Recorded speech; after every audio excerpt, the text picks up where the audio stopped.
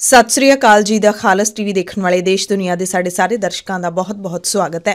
ਪੰਜਾਬ ਦੀਆਂ ਵੱਡੀਆਂ ਖਬਰਾਂ ਦੇ ਇਸ ਖਾਸ ਬੁਲੇਟਿਨ ਦੇ ਨਾਲ ਮੈਂ ਹਰਸ਼ਰਨ ਕੌਰ। ਅੱਜ 12 ਫਰਵਰੀ ਹੈ, ਦਿਨ ਸੋਮਵਾਰ ਹੈ, ਨਾਨਕਸ਼ਾਹੀ ਸੰਮਤ 555 ਦੇ ਮੁਤਾਬਿਕ ਅੱਜ 30 ਮਾਘ ਹੋ ਗਿਆ ਖਬਰਾਂ ਦੇ ਇਸ ਖਾਸ ਬੁਲੇਟਿਨ ਦੇ ਵਿੱਚ ਤੁਹਾਨੂੰ ਸਾਰੀਆਂ ਵੱਡੀਆਂ ਤਾਜ਼ਾ ਤੇ ਅਹਿਮ ਖਬਰਾਂ ਦੱਸਾਂਗੇ। ਸਭ ਤੋਂ ਪਹਿਲਾਂ ਅੱਜ ਦੇ ਮੌਸਮ ਦੀ ਤਾਜ਼ਾ ਜਾਣਕਾਰੀ। ਪੰਜਾਬ ਸਣੇ ਉੱਤਰੀ ਭਾਰਤ ਦੇ ਸੂਬਿਆਂ ਦੇ ਵਿੱਚ ਮੌਸਮ ਤਕਰੀਬਨ ਬਦਲ ਗਿਆ ਹੈ। ਦਿੱਲੀ ਤੋਂ ਲੈ ਕੇ ਹਰਿਆਣਾ ਅਤੇ ਪੰਜਾਬ ਦੇ ਵਿੱਚ ਲੋਕਾਂ ਨੂੰ ਠੰਡ ਤੋਂ ਕੁਝ ਰਾਹਤ ਮਿਲੀ ਹੈ। ਅਸਮਾਨ ਵੀ ਲਗਾਤਾਰ ਸਾਫ਼ ਹੀ ਹੈ। ਪੰਜਾਬ ਦੇ ਵਿੱਚ ਵੀ ਦਿਨ ਤੇ ਰਾਤ ਦਾ ਤਾਪਮਾਨ ਹੌਲੀ-ਹੌਲੀ ਵਧਣਾ ਸ਼ੁਰੂ ਹੋ ਗਿਆ। ਘੱਟੋ-ਘੱਟ ਤਾਪਮਾਨ ਦੇ ਵਿੱਚ ਕਰੀਬ 1 ਤੋਂ 2 ਡਿਗਰੀ ਦਾ ਵਾਧਾ ਕੱਲ ਦਰਜ ਕੀਤਾ ਗਿਆ।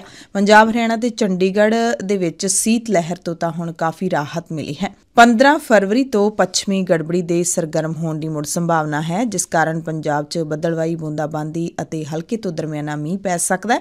ਹਾਲਾਂਕਿ 14 ਫਰਵਰੀ ਤੱਕ ਮੌਸਮ ਖੁਸ਼ਕ ਰਹੇਗਾ। ਮੌਸਮ ਵਿਭਾਗ ਦਾ ਇਹ ਵੀ ਕਹਿਣਾ ਹੈ ਕਿ ਪੰਜਾਬ, ਹਰਿਆਣਾ, ਚੰਡੀਗੜ੍ਹ ਤੇ ਹਿਮਾਚਲ ਫਰਵਰੀ ਦੇ ਮਹੀਨੇ ਸੋਕੇ ਦੀ ਲਪੇਟ ਵਿੱਚ ਨੇ। ਯਾਨੀ ਕਿ ਮੀਂਹ ਘੱਟ ਹੀ ਪਵੇਗਾ। ਤਿੰਨ ਸੂਬਿਆਂ ਦੇ ਵਿੱਚ ਆਮ ਨਾਲੋਂ ਲਗਭਗ 40% ਮੀਂਹ ਘੱਟ ਪਵੇਗਾ। ਹਿਮਾਚਲ ਦੇ ਵਿੱਚ ਬਰਫ਼ਬਾਰੀ ਵੀ ਇਸ ਮਹੀਨੇ ਕਾਫੀ ਘੱਟ ਪਵੇਗੀ। ਹਾਲਾਂਕਿ 4-5 ਦਿਨਾਂ ਬਾਅਦ ਬਰਫ਼ਬਾਰੀ ਦੀ ਵੀ ਭਵਿੱਖਬਾਣੀ ਆਈ ਹੈ। ਪੰਜਾਬ 'ਚ ਫਰਵਰੀ ਦੇ 10 ਦਿਨਾਂ ਦੇ ਵਿੱਚ ਔਸਤਨ 15.3 ਮਿਲੀਮੀਟਰ ਮੀਂਹ ਪਿਆ, ਜਦਕਿ ਇਹਨਾਂ ਦਿਨਾਂ ਦੌਰਾਨ ਆਮ ਤੌਰ ਤੇ 27.4 ਮਿਲੀਮੀਟਰ ਮੀਂਹ ਪੈਂਦਾ ਹੈ। ਯਾਨੀ ਕਿ ਇਸ ਮਹੀਨੇ ਵਿੱਚ ਹੁਣ ਤੱਕ 44% ਘੱਟ ਮੀਂਹ ਦਰਜ ਕੀਤਾ ਗਿਆ ਅੱਜ ਦਸਮੇਸ਼ ਪਿਤਾ ਸਰਬੰਸਤਾਨੀ ਸ੍ਰੀ ਗੁਰੂ ਗੋਬਿੰਦ ਸਿੰਘ ਪਾਤਸ਼ਾਹ ਦੇ ਸਭ ਤੋਂ ਵੱਡੇ ਸਾਹਿਬਜ਼ਾਦੇ ਸ਼ਹੀਦ ਸਾਹਿਬਜ਼ਾਦਾ ਬਾਬਾ ਅਜੀਤ ਸਿੰਘ ਜੀ ਦਾ ਜਨਮ ਦਿਹਾੜਾ ਹੈ, ਜਿਨ੍ਹਾਂ ਨੇ ਚਮਕੌਰ ਦੀ ਅਸਾਮੀ ਜੰਗ ਦੇ ਵਿੱਚ ਬੇਮਿਸਾਲ ਬਹਾਦਰੀ ਦਿਖਾਉਂਦਿਆਂ ਲਸਾਨੀ ਕੁਰਬਾਨੀ ਦਿੱਤੀ ਸੀ ਤੇ ਸਦਾ ਲਈ ਅਮਰ ਹੋ ਗਏ ਸਨ। ਜੰਮਿਆ ਪੂਤ ਭਗਤ ਗੋਬਿੰਦ ਕਾ ਪ੍ਰਗਟਿਆ ਸਭ ਮਹਿ, ਲਿਖਿਆ ਤੁਰਕਾ ਚਮਕੌਰ ਦੀ ਜੰਗ ਵੇਲੇ ਜਦੋਂ ਬਾਬਾ ਅਜੀਤ ਸਿੰਘ ਆਪਣੇ ਪਿਤਾ ਤੇ 10ਵੇਂ ਪਾਤਸ਼ਾਹ ਸ੍ਰੀ ਗੁਰੂ ਗੋਬਿੰਦ ਸਿੰਘ ਸਾਹਿਬ ਤੋਂ ਇਜਾਜ਼ਤ ਲੈ ਕੇ ਜੰਗ ਨੂੰ ਗਏ ਸਨ ਤਾਂ ਉਹਨਾਂ ਨੇ ਆਪਣੇ ਬਹਾਦਰ ਪਿਤਾ ਨੂੰ ਇਹ ਗੱਲ ਕਹੀ ਸੀ ਕਿ ਮੇਰਾ ਨਾਮ ਅਜੀਤ ਸਿੰਘ ਹੈ। ਮੈਂ ਕਿਸੇ ਤੋਂ ਜਿੱਤਿਆ ਨਹੀਂ ਜਾਊਂਗਾ ਤੇ ਜੇ ਅਜਿਹਾ ਹੋ ਵੀ ਗਿਆ ਤਾਂ ਵਾਪਸ ਨਹੀਂ ਆਊਂਗਾ। ਤੇ ਚਮਕੌਰ ਦੀ ਜੰਗ ਦੇ ਵਿੱਚ ਉਹੀ ਦ੍ਰਿਸ਼ ਦੇਖਣ ਨੂੰ ਮਿਲਿਆ। ਵੱਡੀ ਗਿਣਤੀ ਵਿੱਚ ਮੁਗਲਿਆ ਦੁਸ਼ਮਣ ਫੌਜ ਨੂੰ ਸੋਧਾ ਲਾਉਣ ਤੋਂ ਬਾਅਦ ਜੂਝਦਿਆਂ ਜੂਝਦਿਆਂ ਸਾਹਿਬਜ਼ਾਦਾ ਬਾਬਾ ਅਜੀਤ ਸਿੰਘ ਸ਼ਹਾਦਤ ਦਾ ਜਾਮ ਪੀ ਗਏ ਸਨ। ਸਭ ਤੋਂ ਅਹਿਮ ਖਬਰ ਕਿਸਾਨਾਂ ਦੇ ਦਿੱਲੀ ਮੋਰਚੇ 2 ਦੇ ਨਾਲ ਜੁੜੀ ਹੋਈ ਹੈ। 13 ਫਰਵਰੀ ਨੂੰ ਵੱਡੀ ਗਿਣਤੀ ਵਿੱਚ ਪੰਜਾਬ, ਹਰਿਆਣਾ ਅਤੇ ਦੇਸ਼ ਦੇ ਹੋਰ ਸੂਬਿਆਂ ਦੇ ਕਿਸਾਨਾਂ ਦਾ ਦਿੱਲੀ ਕੂਚ ਕਰਨ ਦਾ ਪ੍ਰੋਗਰਾਮ ਹੈ, ਜਿਸ ਦੇ ਵਿੱਚ ਕੁਝ ਹੀ ਘੰਟੇ ਬਾਕੀ ਰਹਿ ਗਏ ਨੇ। ਤੇ ਇਹਨਾਂ ਕੁਝ ਘੰਟਿਆਂ ਦੇ ਵਿੱਚ ਕਾਫੀ ਕੁਝ ਬਦਲ ਸਕਦਾ ਹੈ। ਸਭ ਤੋਂ ਪਹਿਲਾਂ ਤਾਂ ਅੱਜ ਕੇਂਦਰ ਦੇ ਮੰਤਰੀਆਂ ਅਤੇ ਕਿਸਾਨਾਂ ਦੇ ਵਿਚਾਲੇ ਦੂਸਰੇ ਗੇੜ ਦੀ ਚੰਡੀਗੜ੍ਹ ਦੇ ਵਿੱਚ ਮੀਟਿੰਗ ਹੋਵੇਗੀ। ਕੇਂਦਰੀ ਵਜ਼ੀਰਾਂ ਦੀ ਤਿੰਨ ਮੈਂਬਰੀ ਕਮੇਟੀ, ਜਿਸ ਦੇ ਵਿੱਚ ਕੈਬਨਿਟ ਮੰਤਰੀ ਪਿਊਸ਼ ਗੋਇਲ, ਨਿਤਿਆਨੰਦ ਰਾਏ ਅਤੇ ਵਜ਼ੀਰ ਅਰਜੁਨ ਮੁੰਡਾ ਸ਼ਾਮਲ ਨੇ। ਉਹ ਸ਼ਾਮ ਨੂੰ 5 ਵਜੇ ਕਿਸਾਨ ਲੀਡਰਾਂ ਨਾਲ ਚੰਡੀਗੜ੍ਹ ਦੇ ਵਿੱਚ ਬੈਠਕ ਕਰਨਗੇ। ਇਸ ਤੋਂ ਪਹਿਲਾਂ ਲੰਗੀ ਵੀਰਵਾਰ ਵੀ ਮੀਟਿੰਗ ਹੋਈ ਸੀ, ਜਿਸ ਵਿੱਚ ਪੰਜ ਮੰਗਾਂ ਤੇ ਸਹਿਮਤੀ ਬਣੀ ਸੀ। ਇਹਦੇ, ਇਸ ਮੀਟਿੰਗ ਦੇ ਵਿੱਚ ਪੰਜਾਬ ਦੇ ਮੁੱਖ ਮੰਤਰੀ ਭਗਵੰਤ ਮਾਨ ਵੀ ਸ਼ਾਮਲ ਹੋਏ ਸਨ। ਤੇ ਜਦੋਂ ਸੀਐਮ ਮੀਟਿੰਗ ਦੇ ਵਿੱਚ ਪਹੁੰਚੇ ਸਨ, ਉਦੋਂ ਹੀ ਸਾਰਿਆਂ ਨੂੰ ਪਤਾ ਲੱਗਿਆ ਸੀ ਕਿ ਸੀਐਮ ਵੀ ਸ਼ਾਮਲ ਹੋ ਰਹੇ ਨੇ। ਹੋ ਸਕਦਾ ਹੈ ਅੱਜ ਵੀ ਸ਼ਾਮਲ ਹੋਣ, ਪਰ ਹਾਲੇ ਤੱਕ ਕੋਈ ਜਾਣਕਾਰੀ ਨਹੀਂ ਹੈ। ਕਿਉਂਕਿ ਅੱਜ ਪੰਜਾਬ ਦੇ ਮੁੱਖ ਮੰਤਰੀ ਆਪਣੀ ਪਾਰਟੀ ਦੇ ਕੌਮੀ ਕਨਵੀਨਰ ਤੇ ਦਿੱਲੀ ਦੇ ਸੀਐਮ ਅਰਵਿੰਦ ਕੇਜਰੀਵਾਲ ਦੇ ਨਾਲ ਅਯੁੱਧਿਆ ਦੇ ਵਿੱਚ ਰਾਮ ਮੰਦਿਰ ਦੇ ਦਰਸ਼ਨ ਕਰਨ ਜਾ ਰਹੇ ਨੇ। ਇਸ ਕਰਕੇ ਕਹਿ ਸਕਦੇ ਹਾਂ ਕਿ ਸੀਐਮ ਦੇ ਇਸ ਮੀਟਿੰਗ ਵਿੱਚ ਸ਼ਾਮਲ ਹੋਣ ਦੀ ਕੋਈ ਬਹੁਤੀ ਸੰਭਾਵਨਾ ਨਹੀਂ ਹੈ। ਤੇ ਕਿਸਾਨ ਧਿਰਾਂ ਇਸ ਗੱਲ ਤੋਂ ਖਫਾ ਨੇ ਕਿ ਇੱਕ ਪਾਸੇ ਤਾਂ ਸੈਂਟਰ ਸਰਕਾਰ ਗੱਲਬਾਤ ਕਰ ਰਹੀ ਹੈ, ਗੱਲਬਾਤ ਦਾ ਰਾਹ ਖੋਲਿਆ ਹੋਇਆ ਹੈ ਤੇ ਕਿਸਾਨ ਵੀ ਉਸ ਗੱਲਬਾਤ ਦੇ ਸੱਦੇ ਨੂੰ ਕਬੂਲ ਕਰ ਰਹੇ ਨੇ। ਤੇ ਦੂਸਰੇ ਪਾਸੇ ਜੰਗੀ ਪੱਧਰ ਤੇ ਕਿਸਾਨਾਂ ਦਾ ਰਾਹ ਰੋਕਣ ਦੇ ਲਈ ਸਰਕਾਰ ਤਿਆਰੀਆਂ ਕਰ ਰਹੀ ਹੈ। ਇਸ ਕਾਰਵਾਈ ਦੀ ਕਿਸਾਨ ਲੀਡਰਾਂ ਨੇ ਸਖਤ ਨਿਖੇਧੀ ਕੀਤੀ ਹੈ। ਜ਼ਾਹਿਰ ਤੌਰ ਤੇ ਅੱਜ ਹੋਣ ਵਾਲੀ ਮੀਟਿੰਗ ਵਿੱਚ ਹਰਿਆਣੇ ਦੀਆਂ ਸੜਕਾਂ ਤੇ ਖੜੀਆਂ ਕੀਤੀਆਂ, ਕੰਕਰੀਟ ਦੀਆਂ ਕੰਧਾਂ, ਕੰਡਿਆਲੀਆਂ ਤਾਰਾਂ ਤੇ ਕੰਕਰੀਟ ਦੀਆਂ ਸਲੈਬਾਂ ਦਾ ਮਸਲਾ ਜ਼ਰੂਰ ਗੂੰਜੇਗਾ। ਦਿੱਲੀ ਦੇ ਬਾਰਡਰਾਂ ਤੇ ਦਫਾ 144 ਲਾ ਦਿੱਤੀ ਗਈ ਹੈ। ਚੰਡੀਗੜ੍ਹ ਦੇ ਵਿੱਚ ਵੀ ਪ੍ਰਸ਼ਾਸਨ ਨੇ ਦਫਾ 44 ਲਾਗੂ ਕਰ ਦਿੱਤੀ ਹੈ। ਪੰਜਾਬ ਹਰਿਆਣਾ ਹੱਦ ਪੂਰੀ ਤਰ੍ਹਾਂ ਦੇ ਨਾਲ ਸੀਲ ਹੈ। ਹਰਿਆਣਾ ਦੇ 12 ਜ਼ਿਲ੍ਹਿਆਂ ਦੇ ਵਿੱਚ ਦਫਾ 144 ਲਾਈ ਗਈ ਹੈ। 7 ਜ਼ਿਲ੍ਹਿਆਂ ਦੇ ਵਿੱਚ ਇੰਟਰਨੈਟ ਹਾਲੇ ਤੱਕ ਬੰਦ ਹੈ। ਕੱਲ ਤੋਂ ਲੈ ਕੇ 13 ਫਰਵਰੀ ਤੱਕ ਬੰਦ ਕਰਨ ਦੇ ਹੁਕਮ ਦਿੱਤੇ ਗਏ ਨੇ। ਹਰ ਛੋਟੇ ਵੱਡੇ ਰਾਹ ਬੰਦ ਕੀਤੇ ਜਾਣ ਕਰਕੇ ਰਾਹਗੀਰਾਂ ਦੇ ਲਈ ਵੱਡੀ ਮੁਸ਼ਕਿਲ ਬਣ ਗਈ ਹੈ। ਤੇ ਜੇ ਅੱਜ ਦੀ ਮੀਟਿੰਗ ਦੇ ਵਿੱਚ ਕੇਂਦਰ ਸਰਕਾਰ ਦੇ ਨਾਲ ਕਿਸਾਨਾਂ ਦੀ ਗੱਲਬਾਤ ਕਿਸੇ ਸਿਰੇ ਨਾ ਲੱਗੀ, ਤਾਂ ਆਉਣ ਵਾਲੀਆਂ ਲੋਕ ਸਭਾ ਚੋਣਾਂ ਤੋਂ ਪਹਿਲਾਂ ਸਰਕਾਰ ਦੇ ਵੱਲੋਂ ਕਿਸਾਨਾਂ ਦੇ ਰਾਹ ਜਬਰੀ ਰੋਕੇ ਜਾਣ ਤੇ ਕੋਈ ਅਣਸੁਖਾਵੀ ਘਟਨਾ ਵੀ ਵਾਪਰ ਸਕਦੀ ਹੈ। ਕਿਸਾਨ ਲੀਡਰ ਕਹਿ ਰਹੇ ਨੇ ਕਿ ਜੇ ਕਿਸਾਨਾਂ ਤੇ ਕੋਈ ਜ਼ਬਰ ਹੁੰਦਾ ਹੈ, ਤਾਂ ਬਾਕੀ ਕਿਸਾਨ ਧਿਰਾਂ ਵੀ ਹਮਾਇਤ ਵਿੱਚ ਕੁੱਦ ਪੈਣਗੀਆਂ। ਤੇ ਦਿੱਲੀ ਵਿੱਚ ਲੱਗਣ ਜਾ ਰਿਹਾ ਮੋਰਚਾ ਨੰਬਰ 2 ਸੰਯੁਕਤ ਕਿਸਾਨ ਮੋਰਚਾ ਗੈਰ ਸਿਆਸੀ ਅਤੇ ਦੇਸ਼ ਭਰ ਦੀਆਂ ਵੱਡੀ ਗਿਣਤੀ ਦੀਆਂ ਕਿਸਾਨ ਮਜ਼ਦੂਰ ਜਥੇਬੰਦੀਆਂ ਦੀ ਅਗਵਾਈ ਦੇ ਵਿੱਚ ਲੱਗ ਰਿਹਾ ਹੈ। ਹਰਿਆਣਾ ਤੇ ਦਿੱਲੀ ਸਰਕਾਰ ਦੇ ਵੱਲੋਂ ਲਾਈਆਂ ਜਾ ਰਹੀਆਂ ਪਾਬੰਦੀਆਂ ਦੇ ਕਾਰਨ ਆਮ ਲੋਕ ਕਾਫੀ ਪਰੇਸ਼ਾਨ ਹੋ ਰਹੇ ਨੇ। ਹਰਿਆਣਾ ਪੁਲਿਸ ਨੇ ਸ਼ੰਭੂ ਬੈਰੀਅਰ ਤੋਂ ਦਿੱਲੀ ਜਾਣ ਵਾਲੇ ਕੌਮੀ ਮਾਰਗ ਤੇ ਵੱਡੇ ਵੱਡੇ ਪੱਥਰ ਧਰ ਕੇ ਸੜਕ ਤੇ ਕਿੱਲਾਂ ਵਿਛਾ ਕੇ ਆਵਾਜਾਈ ਪੂਰੀ ਤਰ੍ਹਾਂ ਬੰਦ ਕਰ ਦਿੱਤੀ ਹੈ। ਸਰਹੱਦ ਤੇ ਲੱਗਦੇ ਸ਼ਹਿਰਾਂ ਦੇ ਵਿੱਚ ਇਹਦੇ ਕਰਕੇ ਆਵਾਜਾਈ ਠੱਪ ਹੋਈ ਪਈ ਹੈ। ਭਾਵੇਂ ਪੁਲਿਸ ਵੱਲੋਂ ਲੋਕਾਂ ਨੂੰ ਬਦਲਵੇਂ ਰੂਟਾਂ ਰਾਹੀਂ ਲੰਘਾਉਣ ਦੀਆਂ ਕੋਸ਼ਿਸ਼ਾਂ ਕੀਤੀਆਂ ਜਾ ਰਹੀਆਂ ਨੇ, ਪਰ ਇਸ ਦੇ ਬਾਵਜੂਦ ਵੀ ਲੋਕਾਂ ਨੂੰ ਇੱਥੇ ਕਈ ਕਈ ਘੰਟੇ ਖੁਆਰ ਹੋਣਾ ਪੈ ਰਿਹਾ ਹੈ। Haryana police the ADGP law and order Mamta Singh ਨੇ ਕਿਹਾ ਕਿ ਕਿਸਾਨਾਂ ਦੇ ਪ੍ਰੋਗਰਾਮ ਕਰਕੇ ਸੜਕਾਂ ਬੰਦ ਕੀਤੀਆਂ ਗਈਆਂ ਨੇ। National highway number 44 Delhi Chandigarh highway ਬੰਦ ਹੋਣ ਕਰਕੇ ਲੋਕਾਂ ਨੂੰ ਦਿੱਕਤ ਆ ਰਹੀ ਹੈ। ਇਸ ਕਰਕੇ ਚੰਡੀਗੜ੍ਹ ਤੋਂ ਦਿੱਲੀ ਜਾਣ ਵਾਲੇ ਡੇਰਾਬੱਸੀ ਬਰਵਾਲਾ, ਰਾਮਗੜ੍ਹ, ਸਾਹਾ, ਸ਼ਾਹਬਾਦ ਤੇ ਕੁਰੂਕਸ਼ੇਤਰ ਤੋਂ ਹੋ ਕੇ ਦਿੱਲੀ ਪਹੁੰਚ ਸਕਦੇ ਨੇ ਤੇ ਇਹਨਾਂ ਰੂਟਾਂ ਦੇ ਸਹਾਰੇ ਹੀ ਲੋਕ ਚੰਡੀਗੜ੍ਹ ਪਹੁੰਚ ਸਕਦੇ ਨੇ। ਰਾਜਪੁਰਾ ਤੋਂ ਅੰਬਾਲਾ ਜਾਣ ਵਾਲੇ ਲੋਕਾਂ ਲਈ ਰਾਜਪੁਰਾ ਗਗਨ ਚੌਕ ਤੋਂ ਸੜਕ ਬੰਦ ਕੀਤੀ ਗਈ ਹੈ। ਤੇ ਗਗਨ ਚੌਕ ਤੋਂ ਬਨੂੜ ਡੇਰਾਬੱਸੀ ਲਾਲੜੂ ਤੋਂ ਹੁੰਦੇ ਹੋਏ ਅੰਬਾਲਾ ਤੱਕ ਰਾਹ ਤਿਆਰ ਕੀਤਾ ਗਿਆ। ਤੇ ਖੱਟਰ ਸਰਕਾਰ ਦੇ ਹੁਕਮਾਂ ਤੇ ਪੁਲਿਸ ਨੇ ਇੱਥੇ ਤੀਰੀ ਤੀਰੀ ਬੈਰੀਕੇਡਿੰਗ ਕੀਤੀ ਹੈ ਤੇ ਇਸ ਬੈਰੀਕੇਡਿੰਗ ਦੇ ਵਿੱਚ ਕੰਕਰੀਟ ਦੀਆਂ ਕੰਧਾਂ ਵੀ ਸ਼ਾਮਲ ਨੇ। ਘੱਗਰ ਦਰਿਆ ਦੇ ਪੁਲ ਨੂੰ ਪੂਰੀ ਤਰ੍ਹਾਂ ਸੀਲ ਕਰ ਦਿੱਤਾ ਗਿਆ, ਜਿਸ ਕਰਕੇ ਕਈ ਦਰਜਨ ਪਿੰਡਾਂ ਦਾ ਸਰਸਾ ਸ਼ਹਿਰ ਨਾਲੋਂ ਸੰਪਰਕ ਟੁੱਟ ਗਿਆ। ਪੰਜਾਬ ਨੂੰ ਜਾਣ ਵਾਲੇ ਵਾਹਨ ਚਾਲਕਾਂ ਨੂੰ ਕਾਫੀ ਮੁਸ਼ਕਲਾਂ ਦਾ ਸਾਹਮਣਾ ਕਰਨਾ ਪੈ ਰਿਹਾ ਹੈ। ਨੈਸ਼ਨਲ ਹਾਈਵੇ ਤੇ ਚੱਲਣ ਵਾਲੇ ਵਾਹਨਾਂ ਦਾ ਰੂਟ ਬਦਲ ਕੇ ਪਿੰਡਾਂ ਦੀਆਂ ਸੜਕਾਂ ਰਾਹੀਂ ਕੀਤਾ ਗਿਆ, ਜਿਸ ਕਾਰਨ ਜ਼ਾਹਿਰ ਤੌਰ ਤੇ ਲੰਬੀਆਂ ਲਾਈਨਾਂ ਲਗਾਤਾਰ ਲੱਗ ਰਹੀਆਂ ਨੇ। ਪੁਲਿਸ ਨੇ ਸਲਾਹ ਦਿੱਤੀ ਹੈ ਕਿ ਵੱਡੇ ਵਾਹਨ ਸੜਕਾਂ, ਕੰਢੇ, ਢਾਬਿਆਂ ਤੇ ਰੋਕ ਦਿੱਤੇ ਜਾਣ। ਯਾਨੀ ਕਿ ਟਰੱਕਾਂ ਦੇ ਰਾਹੀਂ ਜਿਹੜੀਆਂ ਦੇਸ਼ ਦੇ ਵਿੱਚ ਜ਼ਰੂਰੀ ਵਸਤੂਆਂ ਸਪਲਾਈ ਹੁੰਦੀਆਂ ਨੇ, ਉਹ ਵੀ ਪ੍ਰਭਾਵਿਤ ਹੋਣਗੀਆਂ। ਸਿਰਸਾ ਜ਼ਿਲ੍ਹਾ ਦੇ ਵਿੱਚ ਪੰਜ ਕੰਪਨੀਆਂ ਅਰਧ ਸੈਨਿਕ ਬਲਾਂ ਦੀਆਂ ਤਾਇਨਾਤ ਕਰ ਦਿੱਤੀਆਂ ਗਈਆਂ ਨੇ ਅਤੇ ਪੁਲਿਸ ਨੇ ਚੇਤਾਵਨੀ ਜਾਰੀ ਕੀਤੀ ਹੈ ਕਿ ਕਾਨੂੰਨ ਵਿਵਸਥਾ ਤੋੜਨ ਵਾਲਿਆਂ ਤੇ ਤਿੱਖੀ ਨਜ਼ਰ ਰੱਖੀ ਜਾਵੇਗੀ। ਉਹਨਾਂ ਦੇ ਪਾਸਪੋਰਟ ਤੋਂ ਇਲਾਵਾ ਅਸਲਾ ਲਾਇਸੈਂਸ ਤੇ ਵਾਹਨਾਂ ਦੀ ਰਜਿਸਟ੍ਰੇਸ਼ਨ ਤੱਕ ਰੱਦ ਕੀਤੀ ਜਾ ਸਕਦੀ ਹੈ। ਕਿਸਾਨਾਂ ਨੂੰ ਰੋਕਣ ਦੇ ਲਈ ਬੈਰੀਕੇਡ ਦੇ ਨਾਲ-ਨਾਲ ਚੀਕਾ ਪਟਿਆਲਾ ਸੜਕ ਤੇ ਵੱਡੇ-ਵੱਡੇ ਟੋਏ ਪੁੱਟ ਦਿੱਤੇ ਗਏ ਨੇ ਤਾਂ ਜੋ ਕਿਸਾਨ ਅੱਗੇ ਨਾ ਵੱਧ ਸਕਣ। ਇੱਥੇ ਵੀ ਇੰਟਰਨੈਟ ਸੇਵਾ ਬੰਦ ਹੈ। ਸ਼ਾਹਬਾਦ ਦੇ ਮਾਰਕੰਡਾ ਪੁਲ ਤੇ ਦੋਵੇਂ ਪਾਸੇ ਬੈਰੀਕੇਡਿੰਗ ਕਰ ਦਿੱਤੀ ਗਈ ਹੈ। ਜੀਨ ਦੇ ਵਿੱਚ ਵੀ ਦਫਾ 44 ਲਾਗੂ ਕੀਤੀ ਗਈ ਹੈ। ਫਰੀਦਾਬਾਦ ਪੁਲਿਸ ਨੇ ਵੀ ਕਿਸਾਨ ਅੰਦੋਲਨ ਦੇ ਮੱਦੇਨਜ਼ਰ ਚੌਕਸੀ ਵਧਾ ਦਿੱਤੀ ਹੈ। ਇਸ ਦਰਮਿਆਨ ਹਰਿਆਣਾ ਦੇ ਵਿੱਚ ਇਨੈਲੋ ਲੀਡਰ ਅਬੇ ਚੌਟਾਲਾ ਨੇ ਕਿਸਾਨਾਂ ਦੀ ਹਮਾਇਤ ਕੀਤੀ ਹੈ। ਉਹਨਾਂ ਕਿਹਾ ਹੈ ਕਿ ਇੰਡੀਅਨ ਨੈਸ਼ਨਲ ਲੋਕ ਦਲ ਪੂਰੀ ਤਰ੍ਹਾਂ ਕਿਸਾਨਾਂ ਦੇ ਨਾਲ ਹੈ ਤੇ ਕਿਸਾਨਾਂ ਦਾ ਸਮਰਥਨ ਕਰੇਗਾ। ਪੰਜਾਬ ਤੇ ਹਰਿਆਣਾ ਦੀ ਰਾਜਧਾਨੀ ਚੰਡੀਗੜ੍ਹ ਵਿੱਚ ਯੂਟੀ ਪ੍ਰਸ਼ਾਸਨ ਨੇ ਦਫਾ 44 ਜਿਹੜੀ ਲਾਗੂ ਕੀਤੀ ਹੈ, ਉਹ 60 ਦਿਨਾਂ ਤੱਕ ਲਾਗੂ ਰਹੇਗੀ। ਇਸ ਦਰਮਿਆਨ ਸ਼ਹਿਰ ਦੇ ਵਿੱਚ 5 ਜਾਂ 5 ਤੋਂ ਵੱਧ ਵਿਅਕਤੀ ਇਕੱਠੇ ਨਹੀਂ ਹੋ ਸਕਦੇ। ਸ਼ਹਿਰ ਵਿੱਚ ਕਿਸੇ ਵੀ ਕਿਸਮ ਦੇ ਟਰੈਕਟਰ, ਟਰਾਲੀ ਦੇ ਪ੍ਰਦਰਸ਼ਨ ਤੇ ਵੀ ਪਾਬੰਦੀ ਲਾ ਦਿੱਤੀ ਹੈ। ਚੰਡੀਗੜ੍ਹ ਪੁਲਿਸ ਨੇ ਐਡਵਾਈਜ਼ਰੀ ਜਾਰੀ ਕਰਦਿਆਂ ਕਿਹਾ ਹੈ ਕਿ 13 ਫਰਵਰੀ ਨੂੰ ਕਿਸਾਨ ਜਥੇਬੰਦੀਆਂ ਨੇ ਹਰਿਆਣਾ, ਪੰਜਾਬ ਤੇ ਦਿੱਲੀ ਬਾਰਡਰ ਤੇ ਰੋਸ ਮੁਜ਼ਾਹਰੇ ਦਾ ਐਲਾਨ ਕੀਤਾ। ਇਸ ਕਰਕੇ ਵੱਡੀ ਗਿਣਤੀ ਵਿੱਚ ਕਿਸਾਨ ਟਰੈਕਟਰ, ਟਰਾਲੀਆਂ ਰਾਹੀਂ ਚੰਡੀਗੜ੍ਹ ਦੇ ਬਾਰਡਰਾਂ ਤੋਂ ਗੁਜ਼ਰਨਗੇ। ਇਸ ਕਰਕੇ ਅੱਜ ਅਤੇ ਕੱਲ ਯਾਨੀ ਕਿ 12 ਤੇ 13 ਫਰਵਰੀ ਨੂੰ ਚੰਡੀਗੜ੍ਹ ਦੇ ਬਾਰਡਰਾਂ ਤੇ ਆਵਾਜਾਈ ਵਿੱਚ ਸਮੱਸਿਆ ਪੈਦਾ ਹੋ ਸਕਦੀ ਹੈ। ਇਸ ਕਰਕੇ ਚੰਡੀਗੜ੍ਹ ਦੇ ਲੋਕ ਆਵਾਜਾਈ ਲਈ ਬਾਰਡਰ ਵਾਲੀਆਂ ਸੜਕਾਂ ਦੀ ਘੱਟ ਵਰਤੋਂ ਕਰਨ। ਇਹ ਵੀ ਚੇਤਾਵਨੀ ਦਿੱਤੀ ਹੈ ਕਿ ਕਾਨੂੰਨ ਭੰਗ ਕਰਨ ਵਾਲੇ ਵਿਅਕਤੀ ਦੇ ਖਿਲਾਫ ਕਾਰਵਾਈ ਕੀਤੀ ਜਾਊਗੀ। ਹਰਿਆਣਾ ਸਰਕਾਰ ਵੱਲੋਂ ਸ਼ੰਭੂ ਬਾਰਡਰ ਤੇ ਵੱਡੀਆਂ ਰੋਕਾਂ ਖੜੀਆਂ ਕਰਨ ਤੋਂ ਬਾਅਦ ਰਾਗੀਰ ਪਾਣੀ ਵਿੱਚੋਂ ਲੰਘਣ ਲਈ ਵੀ ਮਜਬੂਰ ਨੇ। ਬਹੁਤ ਸਾਰੀਆਂ ਤਸਵੀਰਾਂ ਤੇ ਵੀਡੀਓਜ਼ ਸਾਹਮਣੇ ਆ ਚੁੱਕੀਆਂ ਨੇ। ਕਿ ਸ਼ੰਭੂ ਬਾਰਡਰ ਤੇ ਘੱਗਰ ਦਰਿਆ ਤੇ ਆਉਣ ਜਾਣ ਦੇ ਰਾਹਾਂ ਤੇ ਸੀਮਿੰਟ ਦੇ ਪੱਕੇ ਬੈਰੀਕੇਡ ਲਾ ਕੇ ਰਾਹ ਬੰਦ ਕਰਨ ਤੋਂ ਬਾਅਦ ਰਾਹਗੀਰ ਘੱਗਰ ਦਰਿਆ ਦੇ ਠੰਡੇ ਤੇ ਭਾਰੀ ਵਹਿਣ ਵਾਲੇ ਪਾਣੀ ਵਿੱਚੋਂ ਲੰਘ ਰਹੇ ਨੇ। ਟਰੱਕਾਂ ਨੂੰ ਇੱਥੇ ਰੋਕ ਦਿੱਤਾ ਗਿਆ, ਇਸ ਕਰਕੇ ਟਰੱਕ ਡਰਾਈਵਰ ਸੜਕਾਂ ਤੇ ਰੋਟੀਆਂ ਪਕਾਉਣ ਲਈ ਮਜਬੂਰ ਨੇ। ਟਰੱਕ ਡਰਾਈਵਰਾਂ ਦਾ ਕਹਿਣਾ ਹੈ ਕਿ ਸਮਾਨ ਟਰੱਕਾਂ ਦੇ ਵਿੱਚ ਭਰਿਆ ਹੋਇਆ ਇਸ ਕਰਕੇ ਉਹ ਇਹਨੂੰ ਛੱਡ ਕੇ ਵੀ ਕਿਤੇ ਨਹੀਂ ਜਾ ਨਹੀਂ ਸਕਦੇ। ਹੁਣ ਪਤਾ ਨਹੀਂ ਇੱਥੇ ਉਹਨਾਂ ਨੂੰ ਕਿੰਨੇ ਦਿਨ ਖੜਨਾ ਪੈ ਜਾਊ ਸ਼ੰਭੂ ਬਾਰਡਰ ਤੋਂ ਇੱਕ ਹੋਰ ਤਾਜ਼ਾ ਖਬਰ ਕੁਝ ਚੈਨਲਾਂ ਦੇ ਹਵਾਲੇ ਨਾਲ ਆ ਰਹੀ ਹੈ। ਦਰਅਸਲ ਕੁਝ ਕੁ ਕਿਸਾਨ ਪੰਜਾਬ ਤੋਂ ਇੱਥੇ ਪਹੁੰਚ ਚੁੱਕੇ ਨੇ ਅਤੇ ਬਾਰਡਰਾਂ ਤੇ ਤਾਇਨਾਤ ਪੁਲਿਸ ਨੇ ਵੀ ਆਪਣੀ ਕਾਰਵਾਈ ਕਰਨੀ ਸ਼ੁਰੂ ਕਰ ਦਿੱਤੀ ਹੈ। ਕੱਲ ਇੱਥੇ ਹੰਝੂ ਗੈਸ ਦੇ ਕੁਝ ਗੋਲੇ ਸੁੱਟੇ ਗਏ। ਤਾਂ ਕਿ ਕਿਸਾਨ ਅੱਗੇ ਵਧਣ ਤੋਂ ਰੁਕ ਜਾਣ। ਅਜਿਹੀਆਂ ਵੀ ਖਬਰਾਂ ਆ ਰਹੀਆਂ ਸਨ ਕਿ ਹਰਿਆਣਾ ਦੇ ਵਿੱਚ ਕਿਸਾਨਾਂ ਦੀ ਫੜੋ ਫੜਾਈ ਸ਼ੁਰੂ ਹੋ ਚੁੱਕੀ ਹੈ। ਕਈਆਂ ਨੂੰ ਨਜ਼ਰਬੰਦ ਕਰ ਦਿੱਤਾ ਗਿਆ। ਸਰਕਾਰ ਦੀਆਂ ਇਹਨਾਂ ਪਾਬੰਦੀਆਂ ਤੇ ਪੰਜਾਬ ਦੇ ਮੁੱਖ ਮੰਤਰੀ ਭਗਵੰਤ ਮਾਨ ਵੀ ਭੜਕੇ ਹਨ। ਮੁੱਖ ਮੰਤਰੀ ਭਗਵੰਤ ਮਾਨ ਨੇ ਕਿਹਾ ਹੈ ਕਿ ਕਿਸਾਨਾਂ ਨੂੰ ਦਿੱਲੀ ਜਾਣ ਤੋਂ ਰੋਕਣ ਦੇ ਲਈ ਜਿਹੜੇ ਤਰੀਕੇ ਅਪਣਾਏ ਜਾ ਰਹੇ ਨੇ, ਉਹ ਇੰਜ ਲੱਗਦਾ ਹੈ, ਜਿਵੇਂ ਪੰਜਾਬ ਤੇ ਹਰਿਆਣਾ ਦਾ ਬਾਰਡਰ ਨਾ ਹੋ ਕੇ ਭਾਰਤ ਤੇ ਪਾਕਿਸਤਾਨ ਦਾ ਬਾਰਡਰ ਹੋਵੇ। ਤਿੱਖਾ ਰੋਸਾ ਜ਼ਾਹਿਰ ਕਰਦਿਆਂ ਸੀਐਮ ਮਾਨ ਨੇ ਕਿਹਾ ਕਿ ਜਦੋਂ ਪੰਜਾਬ ਦੇ ਚੌਲਾਂ ਤੇ ਕਣਕ ਦੀ ਲੋੜ ਹੁੰਦੀ ਹੈ, ਉਦੋਂ ਤਾਂ ਤੁਸੀਂ ਬਾਰਡਰ ਖੋਲ ਦਿੰਦੇ ਹੋ। ਪਰ ਜਦੋਂ ਕਿਸਾਨਾਂ ਨੂੰ ਸਰਕਾਰ ਦੇ ਸਾਥ ਦੀ ਲੋੜ ਹੁੰਦੀ ਹੈ, ਤਾਂ ਕਿਸਾਨਾਂ ਦੇ ਰਾਹ ਦਿੱਲੀ ਜਾਣ ਵਾਲੇ ਤੁਸੀਂ ਬੰਦ ਕਿਉਂ ਕਰਦੇ ਹੋ? ਹਰਿਆਣੇ 'ਚ ਕੀ ਕਰ ਰਹੇ ਆ?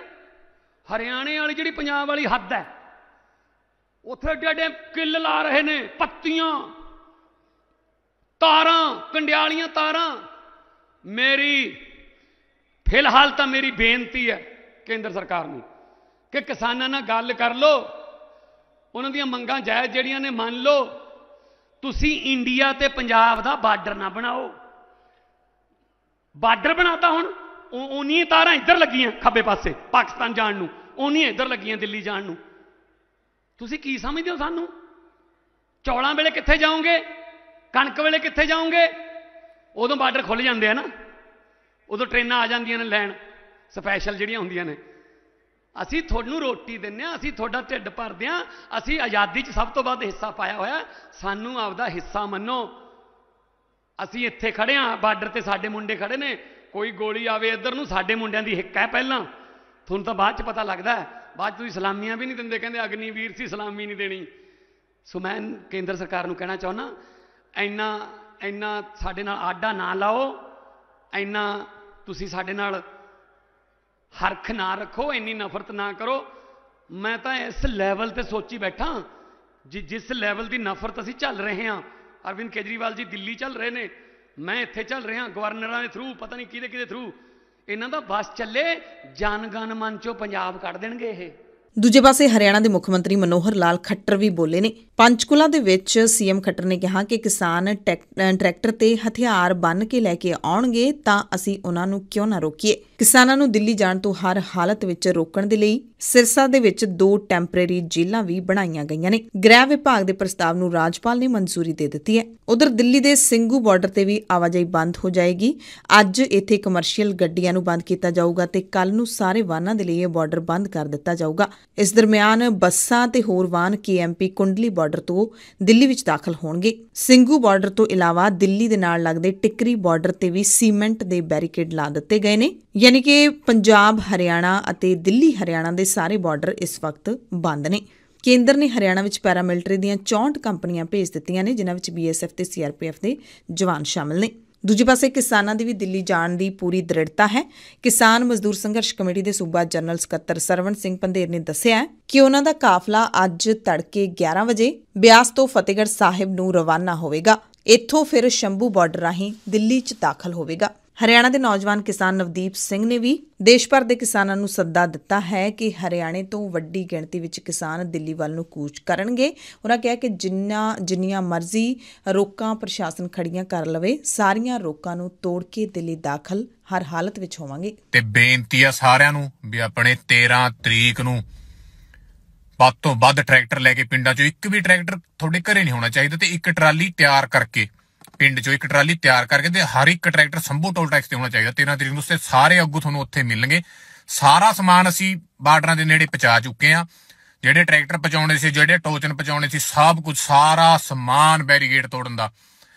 ਸਾਨੂੰ ਪਤਾ ਹੈ ਵੀ ਇਹਨਾਂ ਨੇ ਪੂਰੀ ਪਲੈਨਿੰਗ ਕਰੀ ਹੋਈ ਆ, ਪਤਾ ਨਹੀਂ ਕੀ ਕੀ ਲਾਈ ਜਾਂਦੇ ਨੇ। ਕੁਝ ਵੀ ਨਹੀਂ ਛੱਡਾਂਗੇ, ਸਾਰਾ ਪੱਟ ਕੇ ਦਿਖਾਵਾਂਗੇ, ਦਿੱਲੀ ਕੂਚ ਕਰਕੇ ਦਿਖਾਵਾਂਗੇ। ਆਪਣੀ ਐਮਐਸਪੀ ਦੀ ਲੜਾਈ ਆ, ਆਪਣੀ ਫਸਲ ਨਸਲ ਦੀ ਲੜਾਈ ਆ।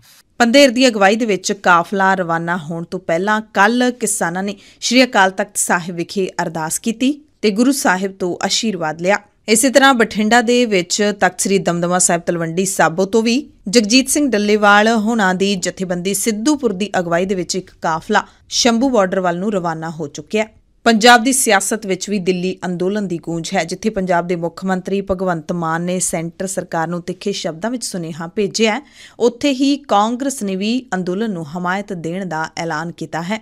ਕੱਲ ਜਿੱਥੇ ਆਮ ਆਦਮੀ ਪਾਰਟੀ ਦੀ ਰੈਲੀ ਤਰਨਤਾਰਨ ਜ਼ਿਲ੍ਹੇ ਦੇ ਵਿੱਚ ਹੋਈ, ਉੱਥੇ ਕਾਂਗਰਸ ਦੀ ਵੱਡੀ ਰੈਲੀ ਸਮਰਾਲਾ ਦੇ ਵਿੱਚ ਹੋਈ। ਇੱਥੇ ਪਹੁੰਚੇ ਕਾਂਗਰਸ ਪ੍ਰਧਾਨ ਮਲਕਾਰਜਨ ਖੜਗੇ ਨੇ ਵੀ ਆਪਣੇ ਸੰਬੋਧਨ ਦੇ ਵਿੱਚ ਕਿਸਾਨਾਂ ਨੂੰ ਕਾਫੀ ਅਹਿਮੀਅਤ ਦਿੱਤੀ। ਕਹਿੰਦੇ ਪੰਜਾਬ ਦਾ ਕਿਸਾਨ ਹੁਣ ਮੁੜ ਅੰਦੋਲਨ ਦੀ ਰਾਹ ਤੇ ਹੈ ਤੇ ਕਾਂਗਰਸ ਪਾਰਟੀ ਪੂਰੀ ਤਰ੍ਹਾਂ ਕਿਸਾਨ ਅੰਦੋਲਨ ਦਾ ਸਮਰਥਨ ਕਰੇਗੀ ਉਧਰ ਪੰਜਾਬ ਦੀ ਬੀਜੇਪੀ ਲੀਡਰਸ਼ਿਪ ਨੇ ਵੀ 2 ਦਿਨ ਪਹਿਲਾਂ ਪੰਜਾਬ ਦੇ ਮਾਮਲਿਆਂ ਦੇ ਇੰਚਾਰਜ ਵਿਜੇ ਰੂਪਾਨੀ ਨਾਲ ਹੋਈ ਮੀਟਿੰਗ ਵਿੱਚ مشورہ ਦਿੱਤਾ ਸੀ ਕਿ ਦਿੱਲੀ ਚੱਲੋ ਜਿਹੜਾ ਕਿਸਾਨਾਂ ਦਾ ਪ੍ਰੋਗਰਾਮ ਹੈ ਉਸ ਦਾ ਫੌਰੀ ਹੱਲ ਕੱਢਿਆ ਜਾਵੇ ਨਹੀਂ ਤਾਂ ਪਹਿਲਾਂ ਵਾਂਗ ਦੇਸ਼ ਵਿੱਚ ਵੱਡਾ ਅੰਦੋਲਨ ਖੜਾ ਹੋ ਸਕਦਾ ਹੈ ਸੋ ਇਸ ਮਸਲੇ ਨੂੰ ਹੱਲ ਕਰਨ ਦੀ ਸਾਰੀ ਤਾਕਤ ਸੈਂਟਰ ਸਰਕਾਰ ਦੇ ਹੱਥ ਵਿੱਚ ਹੈ ਅੱਜ ਕਿਸਾਨਾਂ ਦੇ ਨਾਲ ਮੀਟਿੰਗ ਹੋਣੀ ਹੈ ਲੋਕ ਸਭਾ ਚੋਣਾਂ ਦੇ ਮੱਦੇਨਜ਼ਰ ਸੈਂਟਰ ਸਰਕਾਰ ਇਸ ਮਸਲੇ ਨੂੰ ਹੱਲ ਵੀ ਕਰ ਸਕਦੀ ਹੈ ਤੇ ਕਿਸਾਨਾਂ ਦੀ ਸਭ ਤੋਂ ਵੱਡੀ ਮੰਗ ਐਮਐਸਪੀ ਤੇ ਕਾਨੂੰਨ ਬਣਾਉਣ ਦੀ ਹੈ। ਕਿਸਾਨ ਲੀਡਰ ਜਗਜੀਤ ਸਿੰਘ ਡੱਲੇਵਾਲ ਸਪਸ਼ਟ ਕਹਿੰਦੇ ਨੇ ਕਿ ਇਹ ਸਾਡੀਆਂ ਮੰਗਾਂ ਨਹੀਂ, ਬਲਕਿ ਇਹ ਕੇਂਦਰ ਸਰਕਾਰ ਦੇ ਸਾਡੇ ਨਾਲ ਕੀਤੇ ਹੋਏ ਵਾਅਦੇ ਨੇ, ਜਿਹੜੇ ਪੂਰੇ ਨਹੀਂ ਕੀਤੇ ਤੇ ਹੁਣ ਪੂਰੇ ਕਰਨ ਦਾ ਵਕਤ ਹੈ।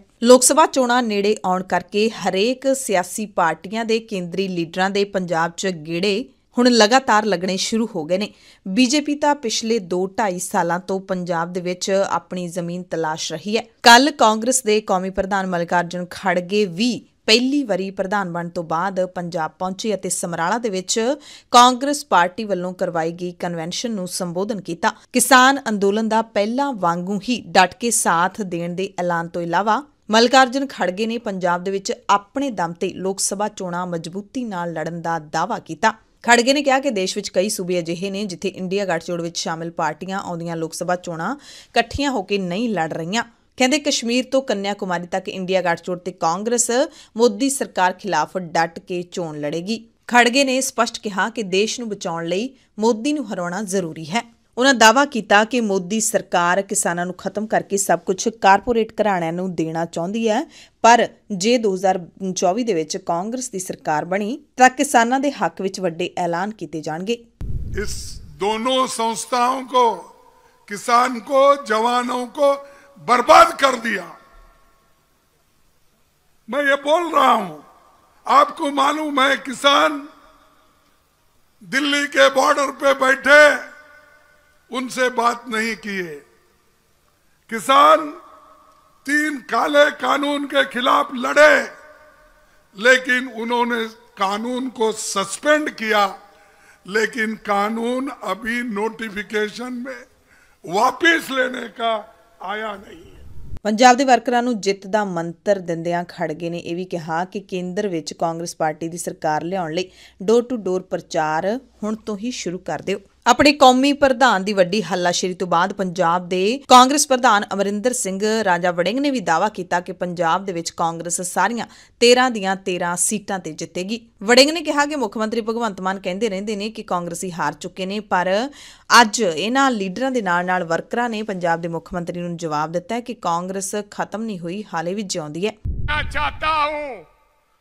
पंजाब के अंदर आज से डेढ़ साल पहले जब चुनाव होके हटे थे, और हालात बहुत खराब थे पंजाब के, और जिस प्रकार की स्थिति थी, बहुत से नेता पार्टी छोड़ के जा रहे थे, और 80 सीटों में हम केवल 18 सीटों पर सिमट के रह गए।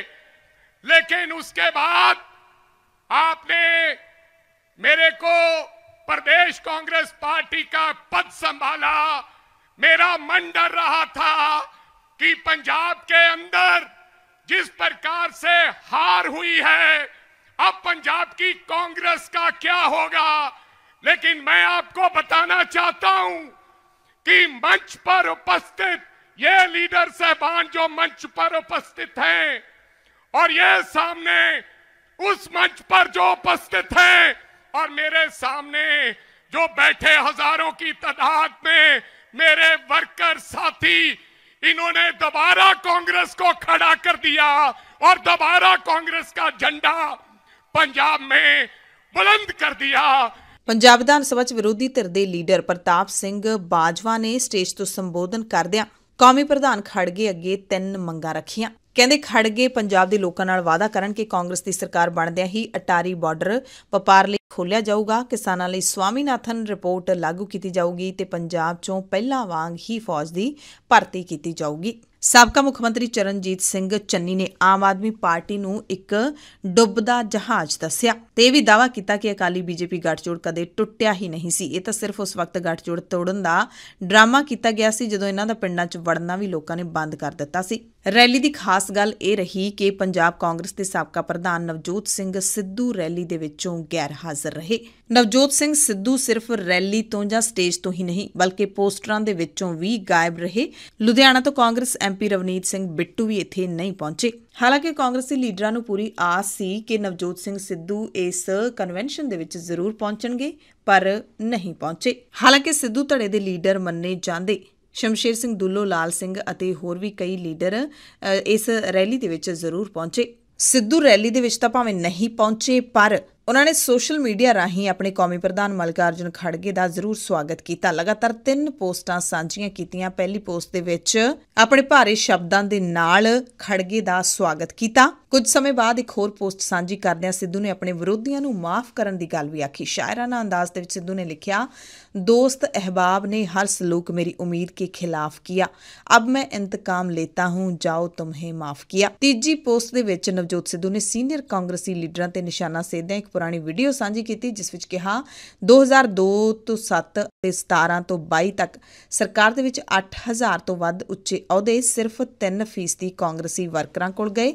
ਬਾਕੀ ਪ੍ਰਭਾਵਸ਼ਾਲੀ ਵੱਡੇ ਅਧਿਕਾਰੀਆਂ, ਵਿਧਾਇਕਾਂ ਦੇ ਰਿਸ਼ਤੇਦਾਰਾਂ ਨੇ ਹੜੱਪ ਲਏ, ਜਿਨ੍ਹਾਂ ਕੋਲ ਨਿਯੁਕਤੀਆਂ ਕਰਨ ਦੀ ਪ੍ਰਸ਼ਾਸਨਿਕ ਸ਼ਕਤੀ ਸੀ। ਕਾਂਗਰਸ ਦੇ ਕੌਮੀ ਪ੍ਰਧਾਨ ਤੋਂ ਇਲਾਵਾ ਕੱਲ ਆਮ ਆਦਮੀ ਪਾਰਟੀ ਦੇ ਕੌਮੀ ਕਨਵੀਨਰ ਅਰਵਿੰਦ ਕੇਜਰੀਵਾਲ ਵੀ ਪੰਜਾਬ ਪਹੁੰਚੇ ਹੋਏ ਸਨ। ਪੰਜਾਬ ਦੇ ਮੁੱਖ ਮੰਤਰੀ ਭਗਵੰਤ ਮਾਨ ਅਤੇ ਦਿੱਲੀ ਦੇ ਸੀਐਮ ਅਰਵਿੰਦ ਕੇਜਰੀਵਾਲ ਨੇ ਤਰਨਤਾਰਨ ਦੇ ਪਿੰਡ ਸ਼ੇਰੋਂ ਦੇ ਵਿੱਚ ਵੱਡੀ ਰੈਲੀ ਕੀਤੀ ਅਤੇ ਗੋਇੰਦਵਾਲ ਸਾਹਿਬ ਥਰਮਲ ਪਲਾਂਟ ਜਿਹੜਾ ਕਿ ਨਿੱਜੀ ਕੰਪਨੀ ਤੋਂ ਸਰਕਾਰ ਨੇ ਖਰੀਦ ਲਿਆ ਹੈ, ਉਸ ਨੂੰ ਲੋਕਾਂ ਨੂੰ ਸਮਰਪਿਤ ਕੀਤਾ ਤੇ ਸੀਐਮ ਮਾਨ ਨੇ ਇਸ ਸਭ ਦਾ ਸਿਰਾ ਅਰਵਿੰਦ ਕੇਜਰੀਵਾਲ ਨੂੰ ਦਿੱਤਾ। ਤੇ ਆਪਣੇ ਫੈਸਲੇ ਨੂੰ ਇਤਿਹਾਸਿਕ ਫੈਸਲਾ ਦੱਸਦਿਆਂ ਕਿਹਾ ਕਿ ਉਹ ਦਿਨ ਦੂਰ ਨਹੀਂ ਜਦੋਂ ਸੂਬਾ ਸਰਕਾਰ ਸੂਬੇ ਦੇ ਸਾਰੇ ਬਾਕੀ ਬਚੇ ਪ੍ਰਾਈਵੇਟ ਥਰਮਲ ਪਲਾਂਟ ਵੀ ਖਰੀਦ ਲਏਗੀ। ਇਸ ਮੌਕੇ ਸੀਐਮ ਮਾਨ ਨੇ ਬੀਜੇਪੀ ਦੇ ਨਾਲ-ਨਾਲ ਅਕਾਲੀ ਦਲ ਤੇ ਵੀ ਤਿੱਖੇ ਨਿਸ਼ਾਨੇ ਸਾਧੇ। ਸੁਖਬੀਰ ਸਿੰਘ ਬਾਦਲ ਦੀ ਪੰਜਾਬ ਬਚਾਓ ਯਾਤਰਾ ਤੇ ਹਮਲਾ ਕਰਦਿਆਂ ਕਿਹਾ ਕਿ ਜਿਹੜੇ ਲੋਕ ਹੁਣ ਪੰਜਾਬ ਬਚਾਓ ਯਾਤਰਾ ਦੇ ਰਾਹ ਪੈ ਰਹੇ ਨੇ, ਉਹਨਾਂ ਨੇ ਆਪਣੇ ਲੰਬੇ ਕਾਰਜਕਾਲ ਦੌਰਾਨ ਸੂਬੇ ਨੂੰ ਰੱਜ ਕੇ ਲੁੱਟਿਆ। ਆ ਫਿਰਦੇ ਨਹੀਂ ਆ, ਪਰਿਵਾਰ ਬਚਾਓ ਯਾਤਰਾ ਚੱਲ ਰਹੀ ਹੈ ਅਕਾਲੀ ਦਲ ਦੀ? ਕਿਉਂ? ਹੱਸਣ ਵਾਲੀ ਕਿਹੜੀ ਗੱਲ ਹੈ ਚ? ਪਰਿਵਾਰ ਬਚਾਓ ਯਾਤਰਾ ਹੀ ਹੈ 4 ਦਿਨ ਪਹਿਲਾਂ ਸ਼ੁਰੂ ਹੋਈ। ਪਹਿਲੇ ਦਿਨ ਮਜੀਠੇ ਗਏ, ਮੇਰਾ ਸਾਲਾ ਬਚਾਓ। ਦੂਜੇ ਦਿਨ ਕੈਰੋਂ ਪਿੰਡ ਗਏ, ਸਾਡਾ ਪਰੌਣਾ ਬਚਾਓ। ਕੱਲ ਫਿਰੋਜ਼ਪੁਰ ਸੀ, ਮੈਨੂੰ ਬਚਾਓ। ਅੱਜ ਬਠਿੰਡੇ ਨੇ, ਮੇਰੇ ਘਰ ਵਾਲੀ ਬਚਾਓ। ਇਹ ਚ ਪੰਜਾਬ ਕਿੱਥੇ ਆ ਬਈ? ਪਰਿਵਾਰ ਬਚਾਓ ਹੈ ਪੰਜਾਬ ਬਚਾਓ ਨਹੀਂ ਇਹ ਆਪਦੇ ਪਰਿਵਾਰ ਨੂੰ ਹੀ ਪੰਜਾਬ ਮੰਨਦੇ ਸੀ, ਆਹੀ ਗਲਤੀ ਹੋ ਗਈ ਇਹਨਾਂ ਤੋਂ। ਕਿਉਂ ਬਚਾਈਏ ਬਈ? ਬੜੀ ਮੁਸ਼ਕਲ ਨਾਲ ਤਾਂ ਤੁਹਾਡੇ ਤੋਂ ਬਚਾਇਆ ਪਹਿਲਾਂ। ਕੀ ਗੱਲ ਰਜਿਸਟਰੀਆਂ ਕਰਾ ਰੱਖੀਆਂ ਲੋਕਾਂ ਨੇ? ਸੋ ਇਹਨਾਂ ਦੀ ਗੱਲ ਨਾ ਮੰਨਿਆ ਕਰੋ। ਇਹ ਤਾਂ ਫਿਰਦੇ ਆ, ਧਰਮ ਨੂੰ ਵਰਤਦੇ ਫਿਰਦੇ ਆ। ਆਹ ਕਰਾ ਲਓ, ਸ਼੍ਰੋਮਣੀ ਕਮੇਟੀ ਤੋਂ ਆਹ ਕਰਾ ਲਓ, ਭਗਵੰਤ ਮਾਨ ਦੇ ਵਿਰੁੱਧ ਆਹ ਕਰਾ ਲਓ। ਲੋਕ ਮੰਨਦੇ ਹੀ ਨਹੀਂ। ਲੋਕ ਮੰਨਦੇ ਹੀ ਨਹੀਂ। ਅਸੀਂ ਇਹ ਜੇ ਹੈਗੇ ਆ ਅਸੀਂ ਤਾਂ ਗੱਡੀ ਥੱਲੇ ਘੁੱਗੀ ਮਰ ਜੇ ਆ ਕੇ। ਅਸੀਂ ਤਾਂ ਉੱਥੇ 2 ਮਿੰਟ ਖੜ ਕੇ ਅਰਦਾਸ ਕਰਨ ਵਾਲੇ ਬੰਦੇ ਆ ਜੀ। ਅਸੀਂ ਬੇਅਦਬੀਆਂ ਵਾਲੇ ਪਾਸਿਆਂ 'ਚ ਜਾਵਾਂਗੇ। ਅਸੀਂ ਬੇਅਦਬੀਆਂ ਦੀ ਜਾਂਚ ਕਰ ਰਹੇ ਹਾਂ। ਇਸੇ ਕਰਕੇ ਪੰਗਾ ਕਿ ਭਗਵੰਤ ਮਾਨ ਨੂੰ ਰੋਕੋ, ਕਿਵੇਂ ਨਾ ਕਿਵੇਂ ਰੋਕੋ। ਕਰੋ ਕਿਵੇਂ ਰੋਕ ਲਓਗੇ? ਪਰਮਾਤਮਾ, ਲੋਕਾਂ 'ਚ ਪਰਮਾਤਮਾ ਵੱਸਦਾ ਮੇਰੇ ਨਾਲ ਲੋਕ ਨੇ। ਹੋਰ ਮੇਰੇ ਮੈਨੂੰ ਕੀ ਚਾਹੀਦਾ ਫਿਰ? ਜਦੋਂ ਮੇਰੇ ਨਾਲ ਲੋਕ ਹੀ ਨੇ। ਇਸ ਮੌਕੇ ਸੀਐਮ ਮਾਨ ਨੇ ਸਿੱਧੇ ਤੇ ਸਪਸ਼ਟ ਤੌਰ ਤੇ ਲੋਕਾਂ ਨੂੰ ਸੱਦਾ ਦਿੱਤਾ ਕਿ ਲੋਕ ਸਭਾ ਚੋਣਾਂ ਦੇ ਵਿੱਚ ਆਮ ਆਦਮੀ ਪਾਰਟੀ ਦਾ ਸਾਥ ਦਿੱਤਾ ਜਾਵੇ। ਬੀਜੇਪੀ ਤੇ ਵਰਦਿਆਂ ਸੀਐਮ ਨੇ ਕਿਹਾ ਕਿ ਸੈਂਟਰ ਸਰਕਾਰ ਨੂੰ ਆਮ ਆਦਮੀ ਪਾਰਟੀ ਦੇ ਲੋਕ ਪੱਖੀ ਫੈਸਲੇ ਹਜ਼ਮ ਨਹੀਂ ਹੋ ਰਹੇ, ਇਸ ਕਰਕੇ ਕਈ ਕੇਂਦਰੀ ਫੰਡ ਰੋਕ ਰੱਖੇ ਨੇ। ਗੁਰੂ ਸਾਹਿਬ ਦੀ ਕਿਰਪਾ ਹੋਊਗੀ, ਤੁਸੀਂ ਦੇਖਿਓ, ਇਹੀ ਪੰਜਾਬ, ਰੰਗਲਾ ਪੰਜਾਬ, ਇਹੀ ਪੰਜਾਬ, ਹੱਸਦਾ ਖੇਡਦਾ ਪੰਜਾਬ ਬਣੂਗਾ। ਆਮ ਤੌਰ ਤੇ ਸਰਕਾਰਾਂ ਕੀ ਕਰਦੀਆਂ? ਅੱਜ ਵੀ ਕਰਦੀਆਂ। ਸਰਕਾਰੀ ਸੰਸਥਾਵਾਂ ਜਿਹੜੀਆਂ ਹੁੰਦੀਆਂ ਨੇ, ਉਹਨਾਂ ਨੂੰ ਘਾਟੇ 'ਚ ਸ਼ੋਅ ਕਰਕੇ, ਵੀ ਇਹਦਾ ਘਾਟੇ ਦਾ ਸੌਦਾ ਜੀ। ਪ੍ਰਾਈਵੇਟ ਦੋਸਤਾਂ ਮਿੱਤਰਾਂ ਨੂੰ ਵੇਚ ਦਿੰਦੇ ਆ। ਕਿਸੇ ਨੂੰ 에ਅਰਪੋਰਟ ਵੇਚਤੇ, ਕਿਸੇ ਨੂੰ ਰੇਲ ਵੇਚਤੀ, ਕਿਸੇ ਨੂੰ ਤੇਲ ਵੇਚਤਾ, ਕਿਸੇ ਨੂੰ ਬੰਦਰਗਾਹਾਂ ਵੇਚਤੀਆਂ, ਕਿਸੇ ਨੂੰ ਐਲਆਈਸੀ ਵੇਚਤੀ। ਘਾਟੇ 'ਚ ਹੈ ਜੀ, ਘਾਟੇ 'ਚ ਹੈ, ਸਰਕਾਰੀ ਹੈ ਜੀ, ਸਰਕਾਰ ਤੋਂ ਚੱਲਦਾ ਨਹੀਂ। ਪਰ ਪੰਜਾਬੀ ਹਮੇਸ਼ਾ ਹਵਾ ਦੇ ਉਲਟ ਚੱਲਦੇ ਨੇ ਤੇ ਹਵਾ ਦੇ ਉਲਟ ਹਮੇਸ਼ਾ ਬਾਜ ਚੱਲਿਆ ਕਰਦੇ ਨੇ। ਕਹਿੰਦੇ ਭਗਵੰਤ ਮਾਨ ਹੈ। ਇਹ ਕੇਜਰੀਵਾਲ ਦੇ ਨਾਲ ਹੈ। ਇਹ ਕੇਜਰੀਵਾਲ ਤੇ ਭਗਵੰਤ ਮਾਨ ਸਾਡੇ ਲਈ ਖਤਰਾ ਨੇ। ਪੈਸੇ ਨਹੀਂ ਦਿੰਦੇ ਸਾਨੂੰ। ਐਨਐਚਐਮ ਦਾ ਪੈਸਾ ਰੋਕਿਆ ਹੋਇਆ ਨੈਸ਼ਨਲ ਹੈਲਥ ਮਿਸ਼ਨ ਦਾ, ਹਸਪਤਾਲਾਂ ਦਾ। ਕੀ ਗੱਲ ਸਾਡੀ, ਸਾਡਾ ਪੈਸਾ ਨਹੀਂ? ਪੈਸਾ ਤਾਂ ਅਸੀਂ ਦਿੰਨੇ ਆ ਉੱਥੇ। ਸੈਂਟਰ ਕਿਹੜਾ ਆਪਦੀਆਂ ਮਸ਼ੀਨਾਂ ਲਾ ਕੇ ਬੈਠਾ ਪੈਸੇ ਵਾਲੀਆਂ? ਪੈਸਾ ਤਾਂ ਸਾਡਾ ਹੀ ਹੈ। ਦੇ ਦਿਓ ਨਹੀਂ ਦਿੰਦੇ। ਇੱਕੋ ਹੀ ਤਰੀਕਾ ਇਹਦਾ, ਇਸ ਪੈਸੇ ਨੂੰ ਲੈਣ ਦਾ। ਮੈਨੂੰ ਇੱਕ ਅਫਸਰ ਨੇ ਕੰਨ 'ਚ ਦੱਸਤਾ, ਮੈਂ ਨੈ- ਮੈਂ ਨੀਤੀ ਯੋਗ ਦੀ ਇੱਕ ਮੀਟਿੰਗ 'ਚ ਗਿਆ ਸੀ। ਮੈਨੂੰ ਕਹਿੰਦਾ ਜੀ, ਤੁਸੀਂ ਇੱਥੇ ਨਾ ਮੰਗੋ, ਵੀ ਲੋਕਾਂ ਕੋਲੇ ਜਾਓ। ਮੈਂ ਕਿਹਾ ਵੀ ਲੋਕ, ਲੋਕਾਂ ਕੋਲੇ ਕੀ ਕਰਾਂਗੇ? ਕਹਿੰਦਾ 13 ਦੀਆਂ 13 ਸੀਟਾਂ ਜਿੱਤ ਲਓ ਮਜ਼ਾ ਲੈ 1 ਰੁਪਈਆ ਵੀ ਰੋਕ ਕੇ ਪੰਜਾਬ ਦਾ। ਕਹਿੰਦਾ, ਇਹਨੂੰ ਪਤਾ ਲੱਗ ਜੂਗਾ ਫਿਰ। ਆ ਆ ਗੱਲ ਕਹਿਣਾ ਆਇਆ ਤੁਹਾਨੂੰ। ਦਿੱਲੀ ਦੇ ਸੀਐਮ ਅਰਵਿੰਦ ਕੇਜਰੀਵਾਲ ਨੇ ਕਿਹਾ ਕਿ ਕੇਂਦਰ ਸਰਕਾਰ ਆਮ ਆਦਮੀ ਪਾਰਟੀ ਦੀ ਮਕਬੂਲੀਅਤ ਤੋਂ ਡਰਦੀ ਹੈ। ਇਸ ਕਰਕੇ ਕਹਿੰਦੇ ਉਹ ਸਾਡੇ ਕੰਮਕਾਜ ਵਿੱਚ ਅੜਿੱਕੇ ਡਾਉਣ ਦੇ ਲਈ ਨੀਵੇਂ ਦਰਜੇ ਦੀ ਸਿਆਸਤ ਕਰ ਰਹੀ ਹੈ। ਉਧਰ ਸ਼੍ਰੋਮਣੀ ਅਕਾਲੀ ਦਲ ਦੇ ਪ੍ਰਧਾਨ ਸੁਖਬੀਰ ਸਿੰਘ ਬਾਦਲ ਦੀ ਪੰਜਾਬ ਬਚਾਓ ਯਾਤਰਾ ਲਗਾਤਾਰ ਚੱਲ ਰਹੀ ਹੈ। ਸਾਹਿਬਜ਼ਾਦਾ ਅਜੀਤ ਸਿੰਘ ਨਗਰ ਮੋਹਾਲੀ ਪਹੁੰਚੇ ਸੁਖਬੀਰ ਬਾਦਲ ਨੇ ਕੱਲ ਕਾਂਗਰਸ ਤੇ ਆਮ ਆਦਮੀ ਪਾਰਟੀ ਦੋਵੇਂ ਪਾਰਟੀਆਂ ਨੂੰ ਇੱਕ ਸਿੱਕੇ ਦੇ ਦੋ ਪਹਿਲੂ ਦੱਸਦਿਆਂ ਇਹਨਾਂ ਨੂੰ ਮੌਕਾ ਪ੍ਰਸਤ ਕਰਾਰ ਦਿੱਤਾ। ਕਹਿੰਦੇ ਵਿਧਾਨ ਸਭਾ ਦੇ ਸਟੇਜਾਂ ਤੇ ਇੱਕ ਦੂਸਰੇ ਨੂੰ ਗਾਲਾਂ ਕੱਢਣ ਵਾਲੇ ਪੰਜਾਬ ਦੇ ਇਹ ਲੀਡਰ ਹੁਣ ਚੋਣਾਂ ਦੇ ਵਿੱਚ ਜੱਫੀਆਂ ਪਾਉਣ ਨੂੰ ਫਿਰਦੇ ਨੇ ਤੇ ਇਹਨਾਂ ਦੇ ਗੱਠਜੋੜ ਨਾਲ ਸੂਬਾ ਹੋਰ ਤਬਾਹ ਹੋਵੇਗਾ। ਭਾਜਪਾ ਨਾਲ ਗੱਠਜੋੜ ਦੇ ਸਵਾਲ ਤੇ ਸੁਖਬੀਰ ਬਾਦਲ ਨੇ ਸਪਸ਼ਟ ਕਿਹਾ ਕਿ ਗੱਠਜੋੜ ਬਾਰੇ ਭਾਜਪਾ ਦੇ ਨਾਲ ਅਕਾਲੀ ਦਲ ਦੀ ਕੋਈ ਗੱਲ ਨਹੀਂ ਚੱਲ ਰਹੀ। ਸੁਖਬੀਰ ਬਾਦਲ ਨੇ ਇਹ ਵੀ ਕਿਹਾ ਕਿ ਸ਼੍ਰੋਮਣੀ ਅਕਾਲੀ ਦਲ ਹਮੇਸ਼ਾ ਪੰਜਾਬ ਦੇ ਕਿਸਾਨਾਂ ਨਾਲ ਚਟਾਨ ਵਾਂਗ ਖੜਾ ਹੈ ਤੇ ਖੜਾ ਰਹੇਗਾ ਕਿਉਂਕਿ ਕਿਸਾਨ ਸੂਬੇ ਦੀ ਰੀੜ ਦੀ ਹੱਡੀ ਨੇ। ਯਾਰ ਮੈਂ ਤਾਂ ਇੱਥੇ ਪੰਜਾਬ ਜਾ ਯਾਤਰਾ ਤੇ ਤੁਰੇ ਫਿਰਦਾ ਹਾਂ। ਤੁਸੀਂ ਤੁਸੀਂ ਹਰ ਰੋਜ਼ ਕੋਈ ਨਾ ਕੋਈ ਨਵੀਂ ਚੀਜ਼ ਕੱਢ ਲੈਂਦੇ ਹੋ। ਤੇ ਮੈਨੂੰ ਤਾਂ ਆਪ ਹੀ, ਮੈਂ ਵੀ ਦੇਖਿਆ ਸੀ। ਹਲੇ ਤੱਕ ਤਾਂ ਮੈਂ- ਸਾਡੀ ਤਾਂ ਲਾਈਨ ਹਲੇ ਬੀਐਸਪੀ ਨਾਲ ਹੈ। ਅਜੇ ਤਾਂ ਮੈਂ ਤਾਂ ਪੰਜਾਬ ਤੁਸੀਂ ਦੇਖਿਆ ਲਗਾਤਾਰ ਮੈंने ਦੇਖਿਆ ਹੋਣਾ ਪਿਛਲੇ 15 ਦਿਨਾਂ ਚ। ਮੈਂ ਲਗਾਤਾਰ ਇੱਥੇ ਹੀ ਹਾਂ, ਪੰਜਾਬ 'ਚ। ਦੇਖੋ, ਪੰਜਾਬ ਦੀ ਜਨਤਾ ਬਹੁਤ ਗੁੱਸੇ 'ਚ ਹੈ ਇਸ ਝਾੜੂ ਵਾਲੇ ਦੇ। ਝਾੜੂ ਵਾਲੇ ਨੇ ਉਹਨਾਂ ਨੇ ਧੋਖਾ ਦਿੱਤਾ ਹੈ। ਜਿਹਨੂੰ ਧੋਖਾ ਦਿੱਤਾ ਜਾਏ ਨਾ, ਉਹ ਬੰਦਾ ਫਿਰ ਬਦਲਾ ਲੈਂਦਾ ਤੇ ਐਕਟੀ ਦੇਖੋਗੇ, ਜੇ 92 ਸੀਟਾਂ ਦਿੱਤੀਆਂ ਨਾ, ਤੇ 92 ਦੀਆਂ ਜ਼ਮਾਨਤਾਂ ਜ਼ਬਤ ਵੀ ਕਰਾਉਣਗੇ। ਸੋ ਕਿਹਾ ਜਾ ਸਕਦਾ ਹੈ ਕਿ ਪੰਜਾਬ ਦੇ ਵਿੱਚ ਲੋਕ ਸਭਾ ਚੋਣਾਂ ਦਾ ਅਖਾੜਾ ਤਾਂ ਪੂਰੀ ਤਰ੍ਹਾਂ ਮੱਗ ਚੁੱਕਿਆ ਹੈ, ਪਰ ਇੱਥੇ ਨਾ ਤਾਂ ਕਾਂਗਰਸ ਤੇ ਆਮ ਆਦਮੀ ਪਾਰਟੀ ਦੇ ਗੱਠਜੋੜ ਦੀ ਕੋਈ ਸੰਭਾਵਨਾ ਬਣ ਰਹੀ ਹੈ ਤੇ ਨਾ ਹੀ ਅਕਾਲੀ ਦਲ ਅਤੇ ਸਾਰੀਆਂ ਹੀ ਪਾਰਟੀਆਂ ਦੇ ਲੀਡਰ ਆਪੋ ਆਪਣੇ ਪੱਧਰ ਤੇ ਇਕੱਲੇ ਹੀ ਲੋਕ ਸਭਾ ਚੋਣਾਂ ਲੜਨ ਤੇ ਜਿੱਤਣ ਦੇ ਦਾਅਵੇ ਕਰ ਰਹੇ ਨੇ। ਉਧਰ ਬੀਜੇਪੀ ਦੇ ਸੂਬਾ ਮੀਤ ਪ੍ਰਧਾਨ ਕੇਵਲ ਸਿੰਘ ਢਿੱਲੋਂ ਨੇ ਪਟਿਆਲਾ ਦੇ ਵਿੱਚ ਬੀਜੇਪੀ ਦੀ ਪਲੇਠੀ ਬੂਥ ਕਾਨਫਰੰਸ ਨੂੰ ਸੰਬੋਧਨ ਕਰਦਿਆਂ ਲੋਕ ਸਭਾ ਚੋਣਾਂ ਵਿੱਚ ਬੀਜੇਪੀ ਵੱਲੋਂ ਪਟਿਆਲਾ ਤੋਂ ਪ੍ਰਨੀਤ ਕੌਰ ਨੂੰ ਉਮੀਦਵਾਰ ਵਜੋਂ ਖੜਾ ਕਰਨ ਦਾ ਐਲਾਨ ਕਰ ਦਿੱਤਾ ਹੈ। ਕੈਪਟਨ ਅਮਰਿੰਦਰ ਸਿੰਘ ਦੇ ਕਾਂਗਰਸ ਵਿੱਚ ਛੱਡ ਕੇ ਬੀਜੇਪੀ 'ਚ ਸ਼ਾਮਿਲ ਹੋਣ ਤੋਂ ਬਾਅਦ ਕਾਂਗਰਸ ਦੀ ਪਟਿਆਲਾ ਤੋਂ ਐਮਪੀ ਪ੍ਰਨੀਤ ਕੌਰ ਭਾਵੇਂ ਹੁਣ ਤੱਕ ਅੰਦਰ ਖਾਤੇ ਹੀ ਬੀਜੇਪੀ ਦੀਆਂ ਸਰਗਰਮੀਆਂ 'ਚ ਸ਼ਾਮਿਲ ਸੀ। ਪਰ ਹੁਣ ਸਪਸ਼ਟ ਤਰੀਕੇ ਦੇ ਨਾਲ ਮਹਾਰਾਣੀ ਪ੍ਰਨੀਤ ਕੌਰ ਦੀ ਬੀਜੇਪੀ ਦੇ ਵਿੱਚ ਐਂਟਰੀ ਹੈ ਜਿਹੜੀ ਉਹ ਲੋਕਾਂ ਦੇ ਸਾਹਮਣੇ ਨਖਾਲਸ ਹੋ ਗਈ ਹੈ। ਸ਼੍ਰੀ ਅਕਾਲ ਤਖਤ ਸਾਹਿਬ ਦੇ ਮਰਹੂਮ ਸਾਬਕਾ ਕਾਰਜਕਾਰੀ ਜਥੇਦਾਰ ਭਾਈ ਗੁਰਦੇਵ ਸਿੰਘ ਕਾਉਂਕੇ ਨੂੰ 1990 ਵਿੱਚ ਸ਼ਹੀਦ ਕਰਨ ਦੇ ਮਾਮਲੇ ਵਿੱਚ ਦੋਸ਼ੀਆਂ ਨੂੰ ਬਚਾਉਣ ਲਈ ਵੀਕੇ ਤਿਵਾੜੀ ਰਿਪੋਰਟ ਸਾਜ਼ਿਸ਼ ਤਹਿਤ ਦਬਕੇ ਰੱਖਣ ਵਾਲੇ ਕਾਂਗਰਸ ਤੇ ਅਕਾਲੀ ਸਰਕਾਰਾਂ ਦੇ ਮੁੱਖ ਮੰਤਰੀਆਂ ਤੇ ਗ੍ਰਹਿ ਮੰਤਰੀਆਂ ਖਿਲਾਫ ਕਾਰਵਾਈ ਕਰਵਾਉਣ ਦੀ ਰਣਨੀਤੀ ਸੰਬੰਧੀ ਜਲੰਧਰ ਦੇ ਵਿੱਚ ਕੱਲ ਪੰਥਕ ਜਥੇਬੰਦੀਆਂ ਦਾ ਭਰਵਾਂ ਇਕੱਠ ਹੋਇਆ, ਜਿਸ ਵਿੱਚ ਫੈਸਲਾ ਲਿਆ ਗਿਆ ਕਿ 5 ਮਾਰਚ ਨੂੰ ਪਿੰਡ ਕਾਉਂਕੇ ਤੋਂ ਇਨਸਾਫ ਮਾਰਚ ਸ਼੍ਰੀ ਅਕਾਲ ਤਖਤ ਸਾਹਿਬ ਤੱਕ ਕੱਢਿਆ ਜਾਵੇਗਾ। ਇਸ ਸਮਾਗਮ ਦਰਮਿਆਨ ਪੰਥਕ ਜਥੇਬੰਦੀਆਂ ਦੇ ਲੀਡਰਾਂ ਨੇ ਸ਼੍ਰੀ ਅਕਾਲ ਤਖਤ ਸਾਹਿਬ ਦੇ ਜਥੇਦਾਰ ਗਿਆਨੀ ਰਘਵੀਰ ਸਿੰਘ ਨੂੰ ਮੰਗ ਪੱਤਰ ਸੌਂਪ ਕੇ ਪੰਜਾਬ ਦੇ ਸਾਬਕਾ ਮਰਹੂਮ ਮੁੱਖ ਮੰਤਰੀ ਪ੍ਰਕਾਸ਼ ਸਿੰਘ ਬਾਦਲ ਨੂੰ ਦਿੱਤਾ ਪੰਥ ਰਤਨ, ਫਖਰੇ ਕੌਮ ਪੁਰਸਕਾਰ ਵਾਪਸ ਲੈਣ ਦੀ ਮੰਗ ਕੀਤੀ ਗਈ ਹੈ। ਸਿੱਖ ਲੀਡਰਾਂ ਨੇ ਚੇਤਾਵਨੀ ਦਿੱਤੀ ਹੈ ਕਿ ਮੁੱਖ ਮੰਤਰੀ ਭਗਵੰਤ ਮਾਨ ਦੋਸ਼ੀਆਂ ਖਿਲਾਫ ਕੇਸ ਦਰਜ ਕਰਕੇ ਤੁਰੰਤ ਕਾਰਵਾਈ ਸ਼ੁਰੂ ਕਰਨ, ਨਹੀਂ ਤਾਂ ਉਹਨਾਂ ਦਾ ਨਾਮ ਵੀ ਦੋਸ਼ੀ ਮੁੱਖ ਮੰਤਰੀਆਂ ਦੇ ਵਿੱਚ ਲਿਆ ਜਾਊਗਾ। ਨਸ਼ਾ ਤਸਕਰੀ ਮਾਮਲੇ ਦੀ ਜਾਂਚ ਕਰ ਰਹੀ ਸਿੱਟ ਦੇ ਮੁਖੀ ਹਰਚਰਨ ਸਿੰਘ ਭੁੱਲਰ ਨੇ। ਇਸ ਕੇਸ ਦੇ ਮੁੱਖ ਮੁਲਜ਼ਮ ਅਤੇ ਸਾਬਕਾ ਕੈਬਨਿਟ ਮੰਤਰੀ ਅਕਾਲੀ ਲੀਡਰ ਵਿਕਰਮ ਸਿੰਘ ਮਜੀਠੀਆ ਨੂੰ ਇੱਕ ਵਾਰੀ ਫੇਰ ਸੰਮਨ ਜਾਰੀ ਕਰਕੇ 15 ਫਰਵਰੀ ਨੂੰ ਤੜਕੇ 11 ਵਜੇ ਪੁਲਿਸ ਲਾਈਨ ਪਟਿਆਲਾ ਪਹੁੰਚਣ ਦੀ ਹਦਾਇਤ ਕੀਤੀ ਹੈ। ਹਰਚਰਨ ਸਿੰਘ ਭੁੱਲਰ ਦੀ ਅਗਵਾਈ ਵਾਲੀ ਇਹ ਜਾਂਚ ਟੀਮ ਦੂਸਰੀ ਵਾਰੀ ਮਜੀਠੀਆ ਤੋਂ ਪੁੱਛ ਪੜਤਾਲ ਕਰੇਗੀ। ਇਸ ਤੋਂ ਪਹਿਲਾਂ ਜਨਵਰੀ ਮਹੀਨੇ ਦੇ ਵਿੱਚ ਇਸ ਟੀਮ ਨੇ ਮਜੀਠੀਆ ਤੋਂ ਪੁੱਛ ਪੜਤਾਲ ਕੀਤੀ ਸੀ। ਹਾਲਾਂਕਿ ਮਜੀਠੀਆ ਖਿਲਾਫ ਜਿਹੜਾ ਕੇਸ ਪਾਇਆ ਗਿਆ ਹੈ, ਉਸ ਨੂੰ ਸਵਾ 2 ਸਾਲ ਬੀਤ ਜਾਣ ਦੇ ਬਾਵਜੂਦ ਵੀ ਚਲਾਨ ਹਾਲੇ ਤੱਕ ਪੇਸ਼ ਨਹੀਂ ਕੀਤਾ ਗਿਆ। ਵਿਕਰਮ ਸਿੰਘ ਮਜੀਠੀਆ ਲਗਾਤਾਰ ਇਸ ਕੇਸ ਨੂੰ ਸਿਆਸੀ ਬਦਲਾਖੋਰੀ ਦੇ ਵਿੱਚ ਕੀਤਾ ਕੇਸ ਦੱਸਦੇ ਨੇ। ਪੰਜਾਬ ਦੇ ਪ੍ਰਸਿੱਧ ਯੂਟਿਊਬਰ ਨੌਜਵਾਨ ਭਾਨਾ ਸਿੱਧੂ ਦੀ ਰਿਹਾਈ 11 ਫਰਵਰੀ ਨੂੰ ਵੀ ਸੰਭਵ ਨਹੀਂ ਹੋ ਸਕੀ, ਜਿਸ ਤੋਂ ਬਾਅਦ ਭਾਨੇ ਦੀ ਰਿਹਾਈ ਲਈ ਗਠਿਤ ਸੰਘਰਸ਼ ਕਮੇਟੀ ਨੇ ਅੱਜ ਫੇਰ ਬਰਨਾਲਾ ਦੇ ਪਿੰਡ ਕੋਟ ਦੁੰਨਾ ਦੇ ਵਿੱਚ ਵੱਡਾ ਇਕੱਠ ਕਰਨ ਦਾ ਐਲਾਨ ਕੀਤਾ ਹੈ। ਇਸ ਇਕੱਠ ਦੇ ਵਿੱਚ ਲਗਾਤਾਰ ਸੰਘਰਸ਼ ਜਾਰੀ ਰੱਖਣ ਦਾ ਐਲਾਨ ਕੀਤਾ ਜਾਊਗਾ। ਸੰਘਰਸ਼ ਕਮੇਟੀ ਦੇ ਆਗੂ ਨੌਜਵਾਨ ਲੱਖਾ ਸਿਧਾਣਾ ਤੇ ਭਾਰਤੀ ਕਿਸਾਨ ਯੂਨੀਅਨ ਸਿੱਧੂਪੁਰ ਦੇ ਲੀਡਰਾਂ ਨੇ ਪੰਜਾਬ ਵਾਸੀਆਂ ਨੂੰ ਅੱਜ ਵਾਲੀ ਰੈਲੀ ਵਿੱਚ ਪਹੁੰਚਣ ਦੀ ਅਪੀਲ ਕਰਦਿਆਂ ਕਿਹਾ ਕਿ ਪੰਜਾਬ ਸਰਕਾਰ ਨੇ ਭਾਨਾ ਸਿੱਧੂ ਨੂੰ 10 ਫਰਵਰੀ ਤੱਕ ਜੇਲ੍ਹ ਵਿੱਚੋਂ ਰਿਹਾ ਕਰਨ ਦਾ ਵਾਅਦਾ ਕੀਤਾ ਸੀ, ਜਦੋਂ 3 ਤਰੀਕ ਨੂੰ ਲੋਕਾਂ ਨੇ ਵੱਡਾ ਸੰਘਰਸ਼ ਕੀਤਾ ਸੀ। ਪਰ ਹਾਲੇ ਤੱਕ ਸਰਕਾਰ ਨੇ ਆਪਣਾ ਵਾਅਦਾ ਨਹੀਂ ਨਿਭਾਇਆ। ਤਖਤ ਸੱਚਖੰਡ ਸ੍ਰੀ ਹਜ਼ੂਰ ਸਾਹਿਬ ਅਬਚਲ ਨਗਰ ਨਾਂਦੇੜ ਦੇ ਪ੍ਰਬੰਧਕੀ ਬੋਰਡ ਦੇ ਵਿੱਚ ਕੀਤੀ ਸੋਧ ਦੇ ਮਾਮਲੇ ਵਿੱਚ ਅੰਮ੍ਰਿਤਸਰ ਤੋਂ ਮੈਂਬਰ ਪਾਰਲੀਮੈਂਟ ਗੁਰਜੀਤ ਸਿੰਘ ਔਜਲਾ ਨੇ ਵੀ ਮਹਾਰਾਸ਼ਟਰ ਦੇ ਮੁੱਖ ਮੰਤਰੀ ਏਕਨਾਥ ਸ਼ਿੰਦੇ ਨੂੰ ਚਿੱਠੀ ਭੇਜੀ ਹੈ। ਇਸ ਮੰਗ ਪੱਤਰ ਰਾਹੀਂ ਉਹਨਾਂ ਸੀਐਮ ਸ਼ਿੰਦੇ ਨੂੰ ਅਪੀਲ ਕੀਤੀ ਹੈ ਕਿ ਉਹ ਸਿੱਖਾਂ ਦੇ ਧਾਰਮਿਕ ਸਥਾਨਾਂ ਤੇ ਸਿੱਖ ਕੌਮ ਦੇ ਮਸਲਿਆਂ ਦੇ ਵਿੱਚ ਦਖਲਅੰਦਾਜ਼ੀ ਬਿਲਕੁਲ ਬੰਦ ਕਰ ਦੇਣ। ਔਜਲਾ ਨੇ ਕੱਲ ਦਿੱਲੀ ਦੇ ਵਿੱਚ ਅਬਚਲ ਨਗਰ ਨਾਂਦੇੜ ਸਾਹਿਬ ਦੇ ਮੈਂਬਰ ਪਾਰਲੀਮੈਂਟ ਤੇ ਉੱਥੋਂ ਦੇ ਵਿਧਾਇਕਾਂ ਨਾਲ ਮੁਲਾਕਾਤ ਕੀਤੀ ਅਤੇ ਇਸ ਮੁਲਾਕਾਤ ਦੇ ਵਿੱਚ ਹੀ ਉਹਨਾਂ ਨੇ ਮਹਾਰਾਸ਼ਟਰ ਦੇ ਸੀਐਮ ਨੂੰ ਇਨ੍ਹਾਂ ਲੀਡਰਾਂ ਦੇ ਰਾਹੀਂ ਚਿੱਠੀ ਭੇਜੀ ਹੈ। ਲੋਕ ਭਲਾਈ ਪਾਰਟੀ ਦੇ ਕੌਮੀ ਪ੍ਰਧਾਨ ਬਲਵੰਤ ਸਿੰਘ ਰਾਮੂ ਵਾਲੀਆ ਨੇ ਵੀ ਮਹਾਰਾਸ਼ਟਰ ਸਰਕਾਰ ਨੂੰ ਆਪਣਾ ਫੈਸਲਾ ਤੁਰੰਤ ਵਾਪਸ ਲੈਣ ਦੀ ਜਾਂ ਰੱਦ ਕਰਨ ਦੀ ਅਪੀਲ ਕੀਤੀ ਹੈ। ਰਾਮੂ ਵਾਲੀਆ ਨੇ ਕਿਹਾ ਕਿ ਗਲਤ ਫੈਸਲੇ ਸਦੀਆਂ ਤੱਕ ਪੀੜ ਤੇ ਪਰੇਸ਼ਾਨੀਆਂ ਪੈਦਾ ਕਰਦੇ ਤੇ ਵਧਾਉਂਦੇ ਰਹਿੰਦੇ ਨੇ।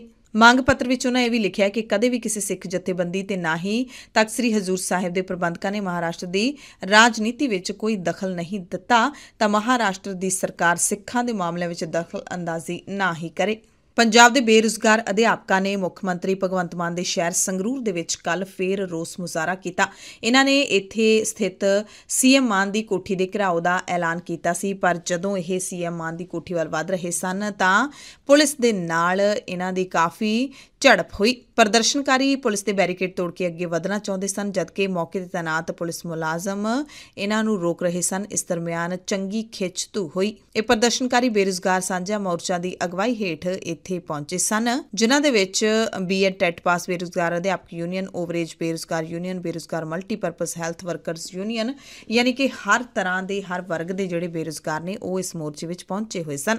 ਪ੍ਰਸ਼ਾਸਨ ਨੇ ਹੁਣ 21 ਫਰਵਰੀ ਨੂੰ ਚੰਡੀਗੜ੍ਹ ਦੇ ਵਿੱਚ ਮੁੱਖ ਮੰਤਰੀ ਦੀ ਰਿਹਾਇਸ਼ ਤੇ ਇਹਨਾਂ ਦੀ ਮੀਟਿੰਗ ਤੈਅ ਕਰਵਾਈ ਹੈ। ਇਸ ਤੋਂ ਬਾਅਦ ਰੈਲੀ ਖਤਮ ਕੀਤੀ ਗਈ। ਚੰਡੀਗੜ੍ਹ ਦੀ ਮੇਅਰ ਚੋਣ ਦੇ ਖਿਲਾਫ ਆਮ ਆਦਮੀ ਪਾਰਟੀ ਅਤੇ ਕਾਂਗਰਸ ਦੇ ਮੁਜ਼ਾਹਰੇ ਚੰਡੀਗੜ੍ਹ ਦੇ ਵਿੱਚ ਲਗਾਤਾਰ ਜਾਰੀ ਨੇ। ਆਮ ਆਦਮੀ ਪਾਰਟੀ ਨੇ ਕੱਲ ਨਗਰ ਨਿਗਮ ਦਫ਼ਤਰ ਦੇ ਸਾਹਮਣੇ ਬੀਜੇਪੀ ਦੀ ਸੰਸਦ ਮੈਂਬਰ ਕਿਰਨ ਖੇਰ ਦਾ ਪੁਤਲਾ ਸਾੜਿਆ। ਸਨੀ ਆਲੂਵਾਲੀਆ ਨੇ ਕਿਹਾ ਕਿ ਬੀਜੇਪੀ ਦੀ ਧੱਕੇਸ਼ਾਹੀ ਬਾਰੇ ਘਰ ਘਰ ਤੱਕ ਪਹੁੰਚ ਕੇ ਅਸੀਂ ਲੋਕਾਂ ਨੂੰ ਜਾਣੂ ਕਰਵਾਵਾਂਗੇ।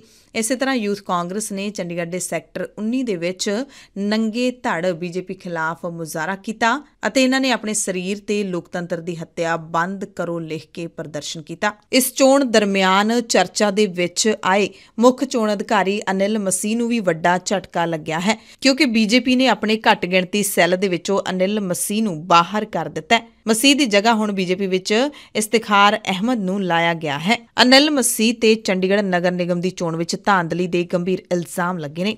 ਚੰਡੀਗੜ੍ਹ ਦੇ ਵਿੱਚ ਲਗਾਤਾਰ ਵੱਧ ਰਹੀਆਂ ਸ਼ਰਾਬ ਤਸਕਰੀ ਦੀਆਂ ਘਟਨਾਵਾਂ ਤੇ ਨੱਥ ਪਾਉਣ ਲਈ ਯੂਟੀ ਪ੍ਰਸ਼ਾਸਨ ਨੇ ਸ਼ਹਿਰ ਦੇ ਵਿੱਚ ਦਾਰੂ ਦੀਆਂ ਬੋਤਲਾਂ ਤੇ ਟਰੈਕ ਐਂਡ ਟ੍ਰੇਸ ਸਿਸਟਮ ਲਾਗੂ ਕਰਨ ਦਾ ਐਲਾਨ ਕੀਤਾ ਹੈ। ਇਸ ਸਿਸਟਮ ਨੂੰ ਇਸੇ ਮਹੀਨੇ ਤੋਂ ਸਿਟੀ ਬਿਊਟੀਫੁਲ ਦੇ ਅੰਦਰ ਲਾਗੂ ਕਰ ਦਿੱਤਾ ਜਾਏਗਾ। ਇਸ ਰਾਹੀਂ ਸ਼ਰਾਬ ਦੀ ਬੋਤਲ ਦਾ ਨਿਰਮਾਣ, ਵਿਕਰੀ ਤੇ ਗੁਣਵੱਤਾ ਬਾਰੇ ਸਭ ਕੁਝ ਪਤਾ ਲੱਗ ਸਕੇਗਾ ਤੇ ਇਹ ਸਿਸਟਮ ਲਾਗੂ ਹੋਣ ਤੋਂ ਬਾਅਦ दारू ਦੀਆਂ ਸਾਰੀਆਂ ਬੋਤਲਾਂ ਤੇ ਇੱਕ ਬਾਰਕੋਡ ਲਾਇਆ ਜਾਊਗਾ। ਯੂਟੀ ਪ੍ਰਸ਼ਾਸਨ ਦੇ ਵੱਲੋਂ ਪੰਜਾਬ ਦੇ ਰਾਜਪਾਲ ਤੇ ਯੂਟੀ ਦੇ ਪ੍ਰਸ਼ਾਸਕ ਬਨਵਾਰੀ ਲਾਲ ਪ੍ਰੋਹਿਤ ਦੇ ਸਲਾਹਕਾਰ ਰਾਜੀਵ ਵਰਮਾ ਨੂੰ ਚੰਡੀਗੜ੍ਹ ਹਾਊਸਿੰਗ ਬੋਰਡ ਦੇ ਚੇਅਰਮੈਨ ਦੀ ਵਾਧੂ ਜ਼ਿੰਮੇਵਾਰੀ ਦਿੱਤੀ ਗਈ ਹੈ। ਲੁਧਿਆਣਾ ਦੇ ਕਿਲਾ ਰਾਏਪੁਰ ਦੀਆਂ ਖੇਡਾਂ ਅੱਜ ਤੋਂ ਸ਼ੁਰੂ ਹੋਣਗੀਆਂ, ਜਿਨ੍ਹਾਂ ਨੂੰ ਮਿਨੀ 올림픽ਸ ਵੀ ਕਿਹਾ ਜਾਂਦਾ ਹੈ।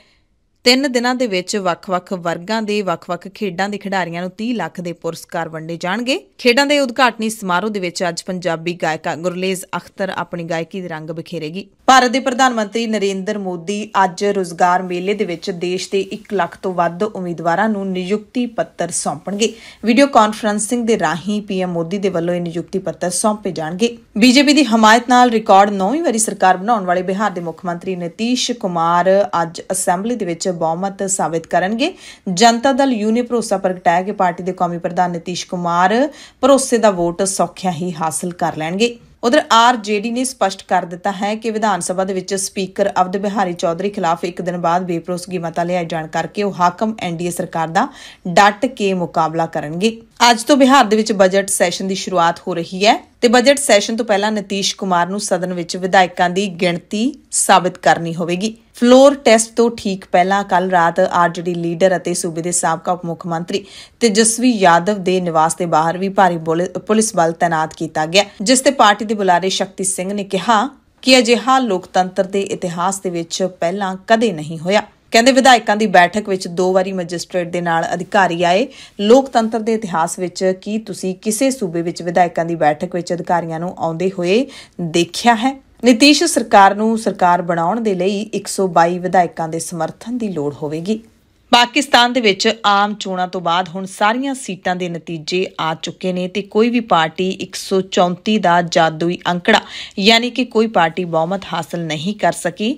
ਹੁਣ ਗੱਠਜੋੜ ਸਰਕਾਰ ਦੇ ਲਈ ਕਵਾਇਦ ਤੇਜ਼ ਹੋ ਚੁੱਕੀ ਹੈ। ਗੱਠਜੋੜ ਸਰਕਾਰ ਦੇ ਲਈ ਜੋੜ ਤੋੜ ਸ਼ੁਰੂ ਹੋ ਚੁੱਕਿਆ ਹੈ। ਇਹਨਾਂ ਚੋਣਾਂ ਦੇ ਵਿੱਚ ਜੇਲ੍ਹ 'ਚ ਬੈਠੇ ਇਮਰਾਨ ਖਾਨ ਨੇ ਪੂਰੀ ਤਰ੍ਹਾਂ ਬਾਜ਼ੀ ਪਲਟ ਦਿੱਤੀ ਹੈ। ਭਾਵੇਂ ਇਮਰਾਨ ਖਾਨ ਦੀ ਪਾਰਟੀ ਦੇ ਚੋਣ ਨਿਸ਼ਾਨ ਬੱਲੇ ਨੂੰ ਚੋਣਾਂ ਲੜਨ ਦੀ ਇਜਾਜ਼ਤ ਨਹੀਂ ਮਿਲੀ ਸੀ, ਤੇ ਉਹਨਾਂ ਦੇ ਸਾਰੇ ਉਮੀਦਵਾਰ ਆਜ਼ਾਦ ਉਮੀਦਵਾਰਾਂ ਵਜੋਂ ਲੜੇ ਸਨ, ਪਰ ਇਮਰਾਨ ਖਾਨ ਦੀ ਪਾਰਟੀ ਪਾਕਿਸਤਾਨ ਦੇ ਵਿੱਚ ਸਭ ਤੋਂ ਵੱਡੀ ਪਾਰਟੀ ਬਣ ਕੇ ਉੱਭਰੀ ਹੈ। ਹੁਣ ਤੱਕ ਆਜ਼ਾਦ ਉਮੀਦਵਾਰਾਂ ਨੂੰ 101 ਸੀਟਾਂ ਮਿਲੀਆਂ ਨੇ। ਭਾਵੇਂ ਤਕਨੀਕੀ ਤੌਰ ਤੇ ਨਵਾਜ਼ ਸ਼ਰੀਫ ਦੀ ਪਾਰਟੀ ਪੀਐਮਐਲਐਨ 75 ਸੀਟਾਂ ਨਾਲ ਸਭ ਤੋਂ ਵੱਡੀ ਪਾਰਟੀ ਬਣੀ ਹੈ। ਬਿਲਾਵਲ ਭੁੱਟੋ ਜ਼ਰਦਾਰੀ ਦੀ ਪੀਪੀਪੀ 54 ਸੀਟਾਂ ਦੇ ਨਾਲ ਕਿੰਗ ਮੇਕਰ ਬਣੀ ਹੈ। ਤੇ ਚੋਣਾਂ ਨੂੰ ਲੈ ਕੇ ਅੱਜ ਦੀ ਸਭ ਤੋਂ ਵੱਡੀ ਖਬਰ ਇਹ ਹੈ ਕਿ ਨਵਾਜ਼ ਸ਼ਰੀਫ ਅਤੇ ਬਿਲਾਵਲ ਭੁੱਟੋ ਦੀ ਪਾਰਟੀ ਨੇ ਗੱਠਜੋੜ ਦਾ ਐਲਾਨ ਕਰ ਦਿੱਤਾ ਪਰ ਦੋਵੇਂ ਪਾਰਟੀਆਂ ਦੀਆਂ ਸੀਟਾਂ ਜੋੜ ਕੇ ਵੀ ਇਹ ਸਰਕਾਰ ਨਹੀਂ ਬਣਾ ਸਕਦੇ। ਪਾਕਿਸਤਾਨ ਦੀ ਅਸੈਂਬਲੀ ਦੇ ਵਿੱਚ 266 ਸੀਟਾਂ ਤੇ ਚੋਣ ਹੁੰਦੀ ਹੈ ਤੇ ਸਰਕਾਰ ਬਣਾਉਣ ਲਈ 134 ਸੀਟਾਂ ਦੀ ਲੋੜ ਹੈ। ਨਵਾਜ਼ ਸ਼ਰੀਫ ਦੀਆਂ 75 ਅਤੇ ਬਿਲਾਵਲ ਭੁੱਟੋ ਦੀਆਂ 54 ਸੀਟਾਂ ਮਿਲਾ ਕੇ ਕੁੱਲ 129 ਸੀਟਾਂ ਬਣਦੀਆਂ ਨੇ ਤੇ ਹੁਣ 5 ਸੀਟਾਂ ਕਿੱਧਰੋਂ ਲਈਆਂ ਜਾਣਗੀਆਂ, ਇਸ ਬਾਰੇ ਕੁਝ ਵੀ ਨਹੀਂ ਕਿਹਾ ਜਾ ਸਕਦਾ ਇਹ ਵੀ ਚਰਚਾ ਚੱਲ ਰਹੀ ਹੈ ਕਿ ਇਮਰਾਨ ਖਾਨ ਦੀ ਪਾਰਟੀ ਵੱਲੋਂ ਆਜ਼ਾਦ ਉਮੀਦਵਾਰ ਵਜੋਂ ਚੋਣ ਜਿੱਤੇ ਕੁਝ ਉਮੀਦਵਾਰ ਵੀ ਨਵਾਜ਼ ਸ਼ਰੀਫ ਦੀ ਪਾਰਟੀ ਵਿੱਚ ਜਾ ਰਹੇ ਨੇ ਜਾਂ ਫਿਰ ਚਲੇ ਜਾਣਗੇ। ਪੰਜਾਬ ਦੀਆਂ ਵੱਡੀਆਂ ਖਬਰਾਂ ਦੇ ਇਸ ਖਾਸ ਬੁਲੇਟਿਨ ਦੇ ਵਿੱਚ ਤੁਹਾਡੇ ਸਭ ਤੋਂ ਇਜਾਜ਼ਤ ਚਾਹੁੰਦੇ ਹਾਂ। ਧੰਨਵਾਦ।